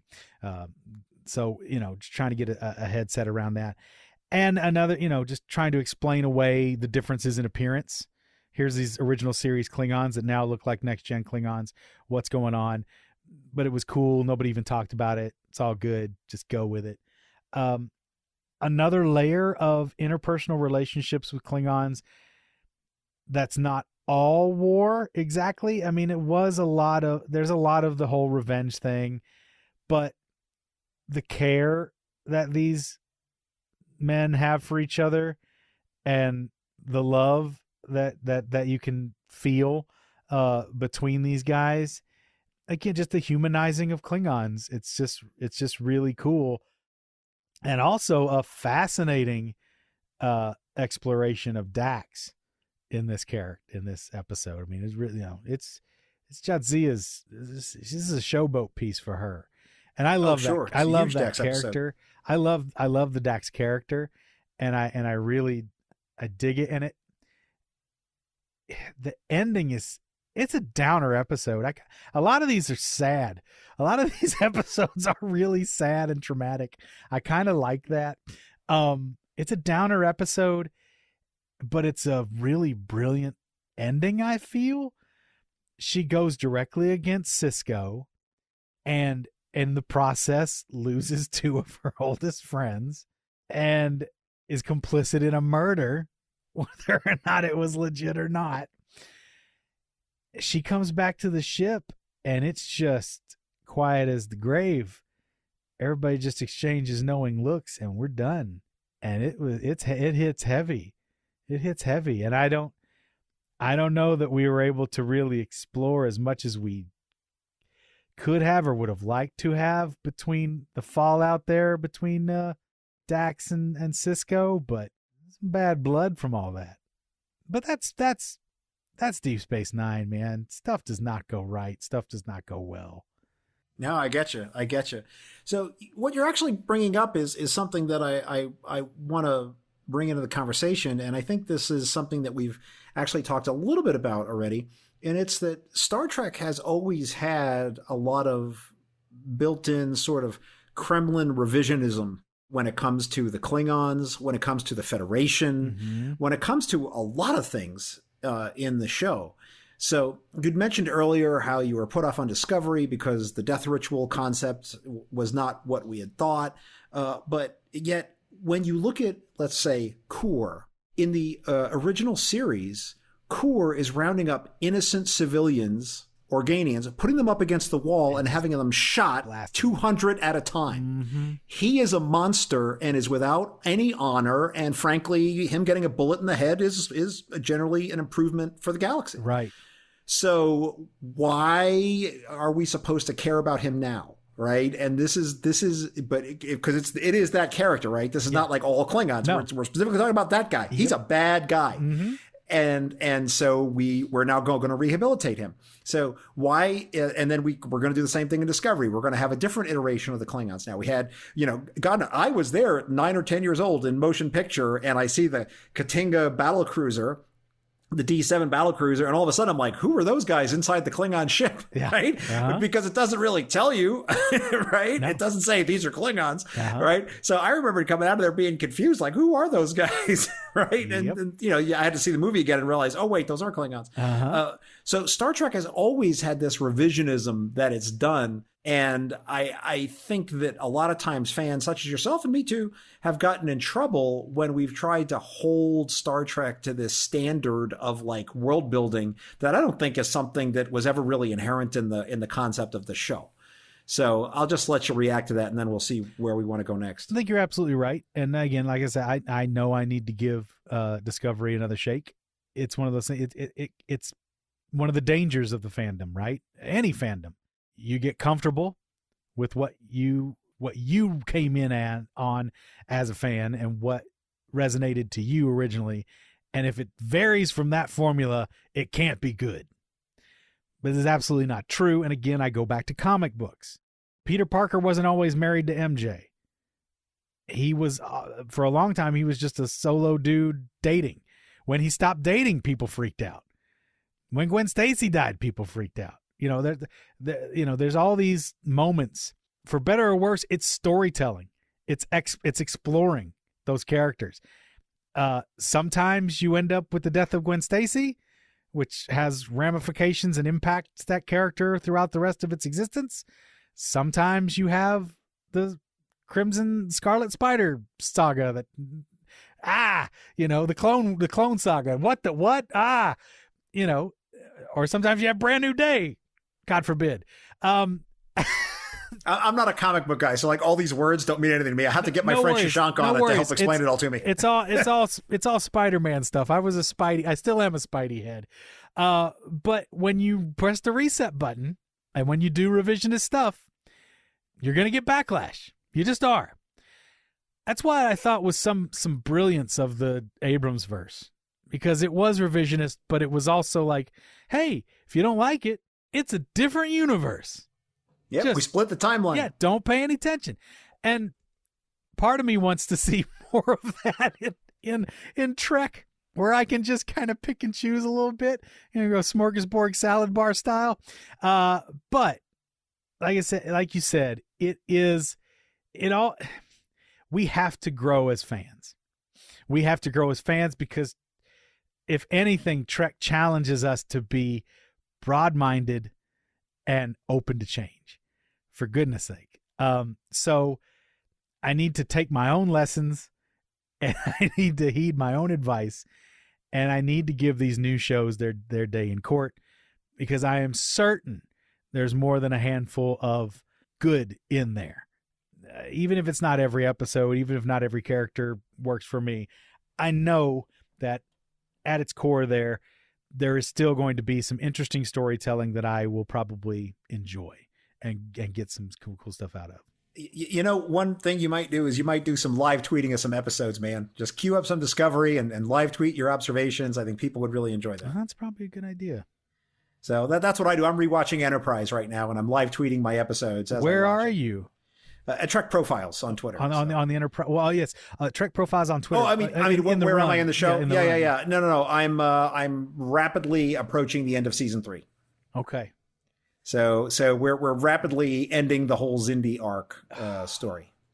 So I, I just gave a I had a really bad reaction to the episode Damage, which I felt bad about because it was a it was a fine production. I mean, just as an episode, you know, there was so much to to like in it. Uh, but I found the message of the episode to be so morally offensive that I gave it one Spock. Uh, so I have my five. I give everything got a five Spocks, um, and it, it just the the message of the episode I found so terrible. Uh, mostly because if, if you remember the episode right, there's this other ship and they're on a little exploration mission, and the Enterprise needs a part.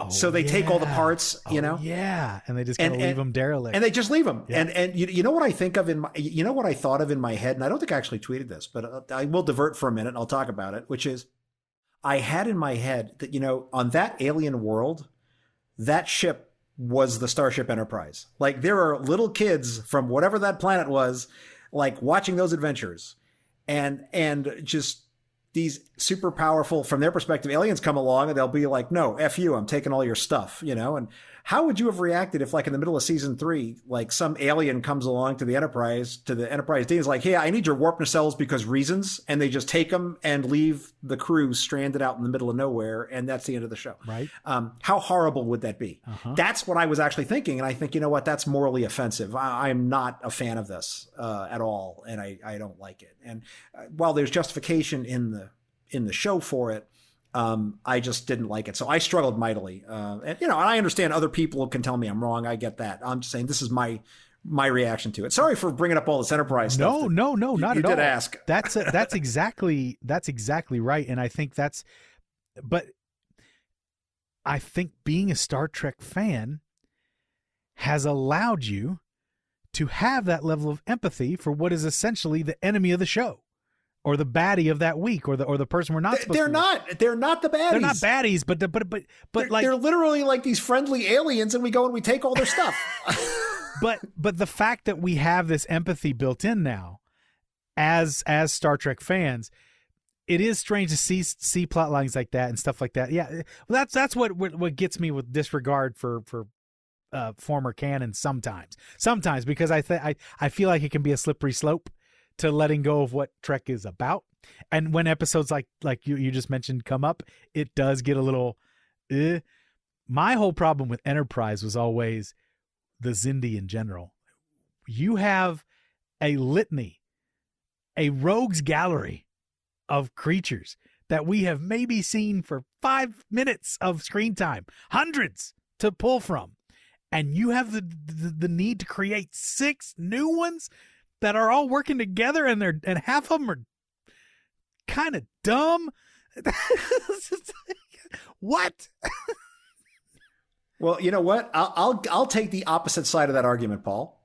Um, I will take the opposite side of that, which is that one of the things that I legitimately, um, I don't want to say criticize, but w- one of the things I, I do really find a little bit eye rolly in a lot of Star Trek is like we take the ship like to the other end of the universe and we meet somebody that we already know right? Like like everybody like it, we we come across more Klingons, we come across more Romulans, we come across like oh there's a symbiont, has to be a Dax, you know, and it's Right. like stop it, like stop, stop it, you know, let's have let's have some other aliens, you know, let's have more of There- that. there is I, I, I am there, all yes. for more of that. There you know, it's it's a great big universe out there and I never minded that at all. And I'm always interested in seeing them do new kinds of aliens, new kinds of ways of being, you know, new planets with like weird stuff going on. And I am there for that. That is like one of the things I enjoy the most is when they go to some crazy planet and, you know, meet some really wild culture that we hadn't seen before. I, I I'm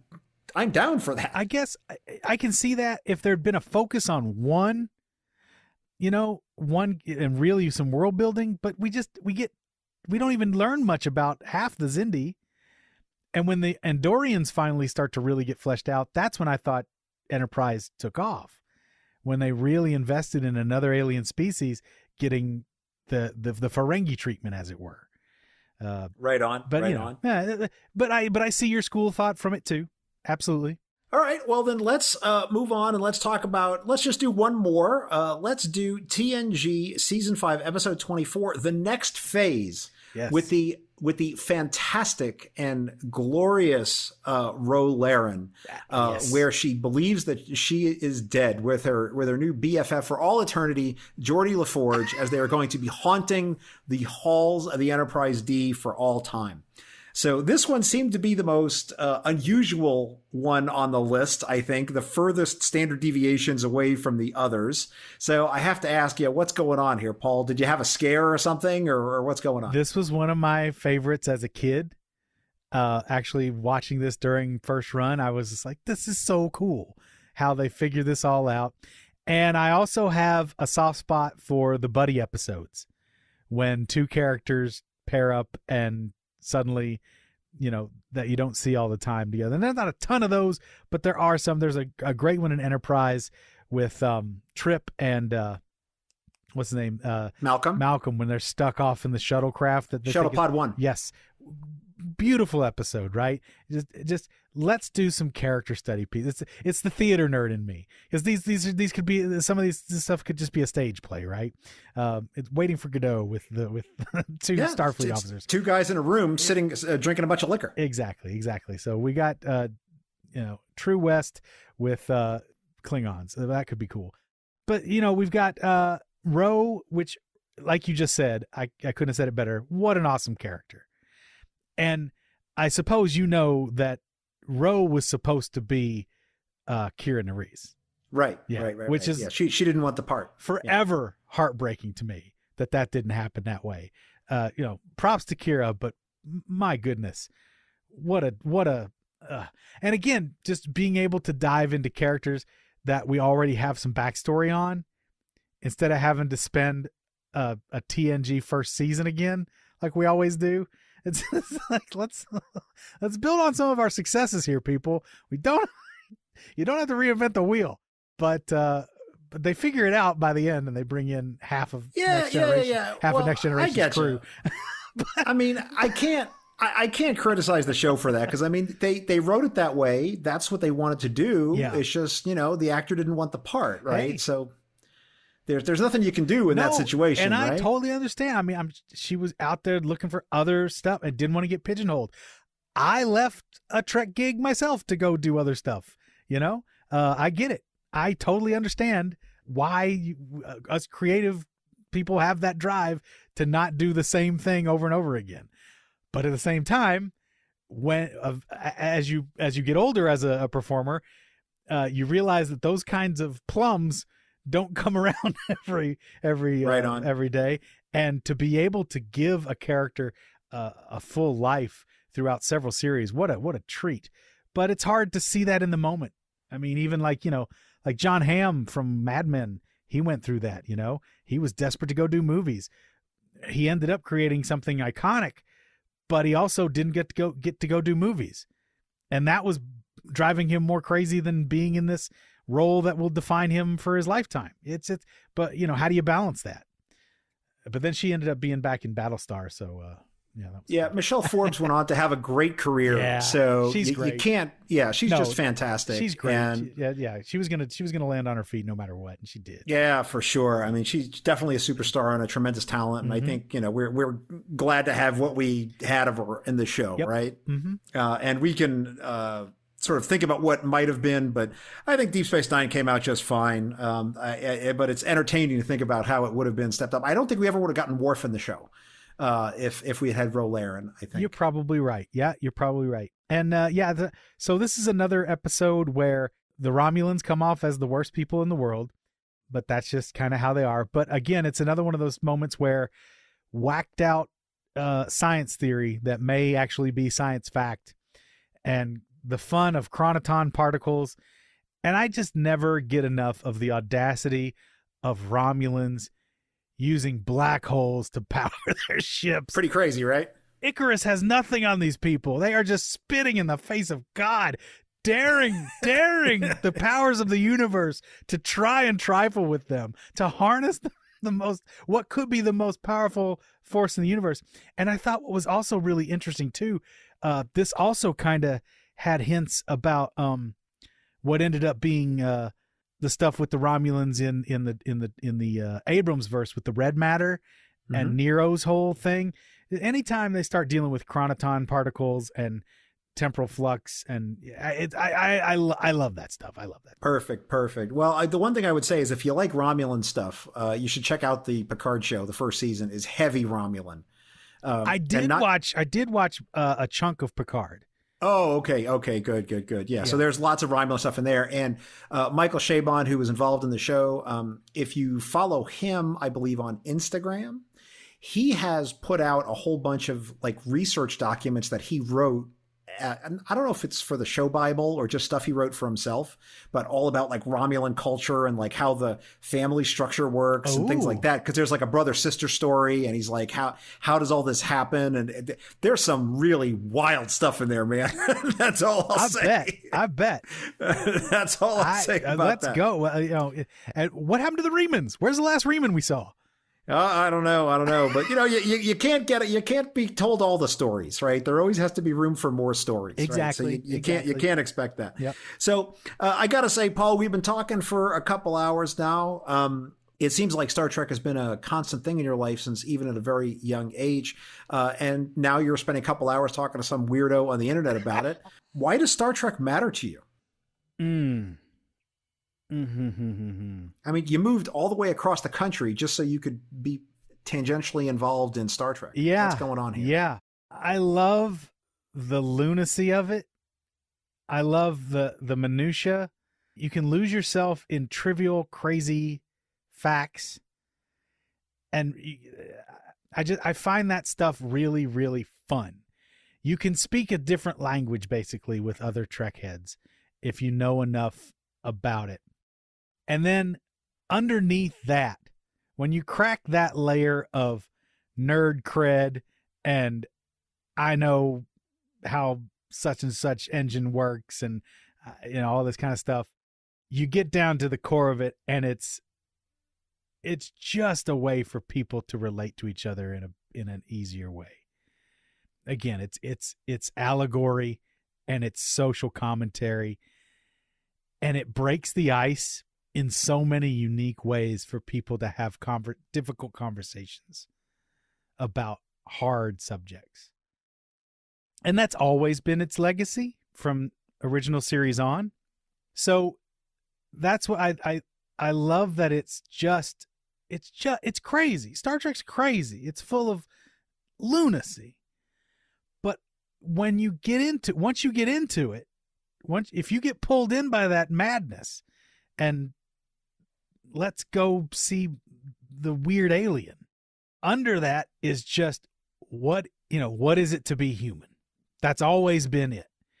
And like you were saying you were talking earlier about gene and his picayunes he was wild man but wow did he have some insight into the human condition. And a lot of the writers that he brought onto that project early on did too. And that's what continues to shine through it is a it is a safe space to talk about really difficult stuff. Yeah. And I and we more than ever do we need that now. Yeah. Well, Paul, I've enjoyed our conversation, but the M5 has alerted me Oh, that it is no. now time for the Kobayashi Maru. Ah! The Kobayashi Maru is a challenging and difficult test, cunningly prepared just for you by the M5. Should you not only survive the test, but pass it as well, the M5 will award you an honorary Star Trek title on behalf of our little program. I'll take it. Are you ready to face the Kobayashi Maru, Paul? Let's go. M5, load the Kobayashi Maru simulation and prepare to record Paul's responses. The M5 is processing. You can only choose one engage the warp engines or fire the phasers. Warp engines. Choose your honorable vacation destination, Boreth or Kronos. Uh Kronos. You must bring a feline companion on your next deep space mission. Will it be Spot, Grudge, or Isis? Spot. You are invited to be a guest at the next Dax zhian'tara. Would you rather have drinks with Curzon or play Dabo with Jadzia? Jadzia Dabo. Which is scarier, Klingon friend? Fek'lhr or Gowron's eyes at full burn? Gowron. the Fek'lhr's not even necessarily real. Simulation complete. M5, please compute the results and tell us if our guest has passed the Kobayashi Maru. Analyzing. Paul, I am pleased to tell you that the M5 has calculated that you have passed the Kobayashi Maru simulation. Congratulations. Whoa, amazing. And now, the M5, who has analyzed your answers, will award you an honorary Star Trek title on behalf of our podcast. M5, what title shall we award our guest? Paul Mattingly is awarded the title of headliner at the Chuckle Hut on Risa. I'll So take there you it. go. I'll take it. That totally that totally fits with what I do. That's my combination. Yeah. So uh, everyone should go catch his show at the Chuckle Hut. It's going to be amazing, I'll tell you. And, you know, there might be Jamaharon afterwards. I don't even know. Okay. Get your horga'hns here.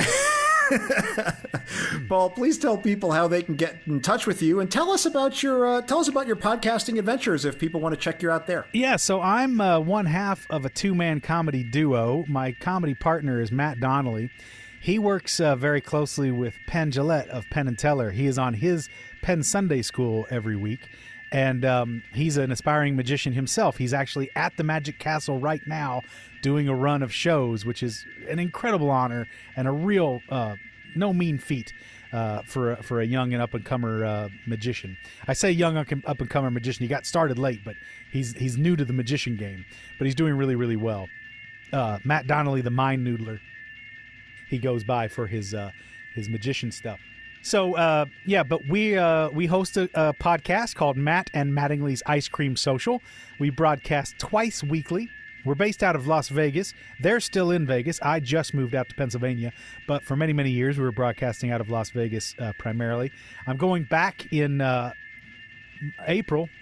We're having our big convention, uh, Scoop Fest, we call it. All of our listeners we call Scoops as our ice cream social heads. And uh, Scoop Fest is happening at the end of April, so you can go to heyscoops.com. Simple to remember, heyscoops.com, and you'll find all the information on Matt Mattingly's Ice Cream Social. You can listen to episodes right from there or any streaming uh, platform you so choose. And we have a shop, and we have uh, info about our convention and all kinds of stuff like that, and uh, some funny videos and stuff as well. And if they want to follow you personally to bring you to task for not being a completionist and to give you grief over your uh, uh, failure to accept Klingon revisionism, where, where should they find you? Please do so. I am at the famous Paul on Twitter, and I am pretty active on Twitter, so I will get back to you. Uh, if you're if you're nice, I'll even follow you, probably. Yeah. So uh, please uh, feel free to reach out and say hey. I love chatting with my listeners, and uh, I'd love to hear from you guys as well. This has uh, been a, a real fun opportunity. Paul, thank you so much for being part of Trek Profiles. Oh, so great to be here. Thank you, John.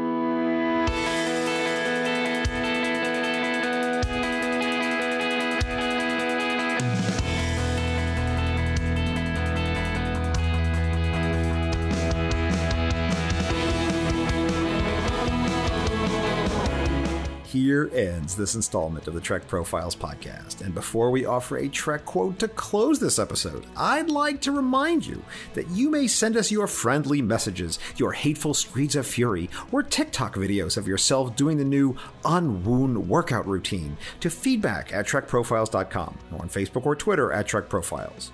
Anything you send me, maybe using the show, or it might be thrown into a bizarre Dickensian Christmas nightmare scenario inside of the Nexus. And speaking of some things which were not thrown into the Nexus, some portions of the Kobayashi Maru questions in this very episode were written by listener Adam Saunders. We thank Adam for his contributions. This time, I leave you with a quote from Klingon Captain Kor, who in the episode Blood Oath said, quote, Of course you should come, the splendor of fighting and killing, a bloodbath and the cause of vengeance. Who wouldn't want to come? Close quote. Thanks for listening and live long and prosper.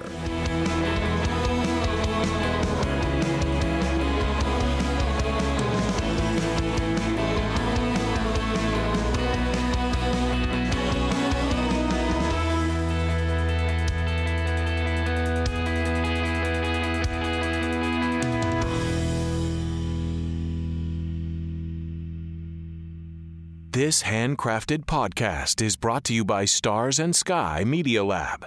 It's cosmic.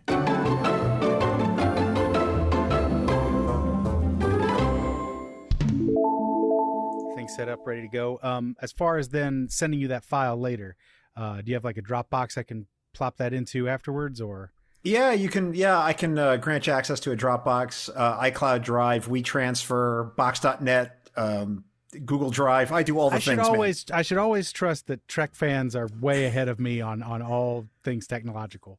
Okay, great, uh, awesome, awesome, awesome, awesome. So I know you didn't want to uh, talk much about yourself on the on the podcast, but can I just ask what your Trek Sure. background is? I see uh, the Enterprise uh, in the background there, and uh, are those Oh, yeah. like, stamp collections? Th- th- this is all Star Trek stuff. So Yeah. that's uh, that's the U.S. Postal Service, uh, USS Star Trek, USS Enterprise stamp, TOS Mm-hmm. era. Uh, that's the uh, uh, also from the U.S. Postal Service. That's the stamps from that. That's the Royal Mail uh, over in the UK. That's Yeah. their stamps. Um, and I just like I'm not a stamp guy. I just like them because I thought they were just incredibly cool art, and they, They I was able to get them framed like that. Yeah. Um, that's my original Spock art. So that is um, a a hand painted uh, Mr. Spock. Every version of him that appeared in the original series. Oh wow, all the different So outfits. Oh, yeah, that's sold from his his shop from that from that that shop Nimoy LLAP. estate, huh? Oh wow. Yeah, that's his his company that he started with his granddaughter, and I bought it from them in person at the convention about five years ago. Oh, cool. Uh, so that's nice. That's number five. There's only a hundred of those, so that's number five. Very nice. And and that right up there, you'll appreciate this. That's Klingon Chef from Deep Space Nine. so there's a there's a guy on Twitter, Lee Sargent. I don't know if you know him, but he just he's he's a guy in Australia and he does a lot of Star Trek art and other things too. But he always is posting Star Trek doodles and things like that. And he posted Klingon Chef. And I was like, "Oh, Lee, that's awesome, man! Makes me want to sing Klingon opera." And he's like, "I absolutely dare you to sing Klingon opera." I was like, "Stand by, bro!" Done. Here we go. and I belted out some Klingon opera uh, on Twitter, and he's he goes, "Send me your address. I'm going to send you something." Wow. So that is an original uh, Lee Sargent uh, of Klingon Chef, who is my favorite Klingon, Very cool. Very cool. even though he's only in two episodes. Right. But uh, I, I love Klingon Chef. so yeah, no, I, I'm I'm one of these people. I've been a fan my whole life, so there was never a time I um I I have not been a Star Trek fan. oh man, Gowron with those eyes. Yes, sir. Oh, amazing. Did, did, now, did you ever try to work on a Gowron eye glare? Did, did, was that was that in your repertoire? Uh, mine. I I had. Well, like I said, we had the the, the luck of the the the mask already gave you this very imposing uh brow line. Uh-huh. So it's cutting right there. So I was just always I did I did open my eyes quite wide during while I was when I would go out on on on the floor. I was always very intently staring at people. So yeah, I would you this is this is these are the eyes you would get. But it wasn't like bugging out, but it was "Ugh," and it was always from here. You know, like like really underneath. Like under the brow. Yeah, yeah, yeah, like like like a shark peering up, just barely uh, able to see. But yeah, I, I would I would stare at people from across the entirety of the of the floor and just freak them out that way. Yeah, and then uh, but I, I I wasn't about jump scares or anything like that or or trying to scare people. And when kids would come up, I would always kneel down and and get on their level and talk to them. Uh, you know, unless they were terrified, then I wouldn't even mess with them. Uh, but uh, which, which which happened occasionally. But yeah, uh, I, I, nobody can do the Gowron eyes except Gowron.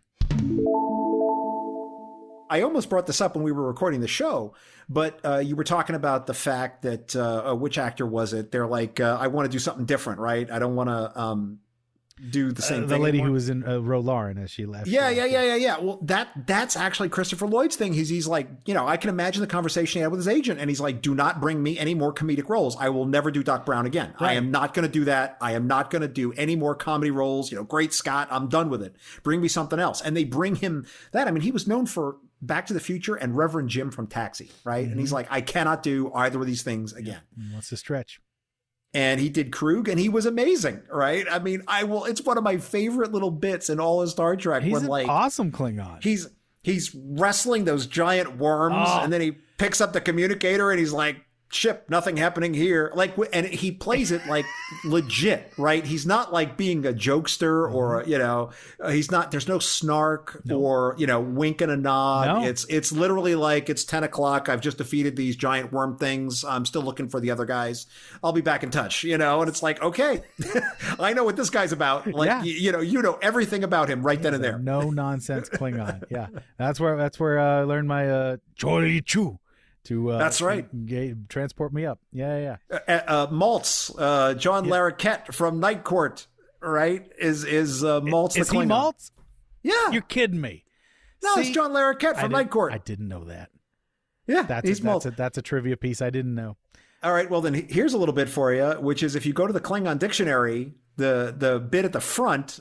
Uh, that Marc Okrand is writing, the little front matter, he actually says, like, he thanks Maltz in the acknowledgments for all his help in fixing the translations, which is one of my favorite little things in that book. You know, the shout out to Maltz, the officer Yeah, yeah, yeah. Maltz. I do not deserve to live, right? Well, he ends up helping Marc Okrand write the Klingon dictionary. What are you going to do? Ah,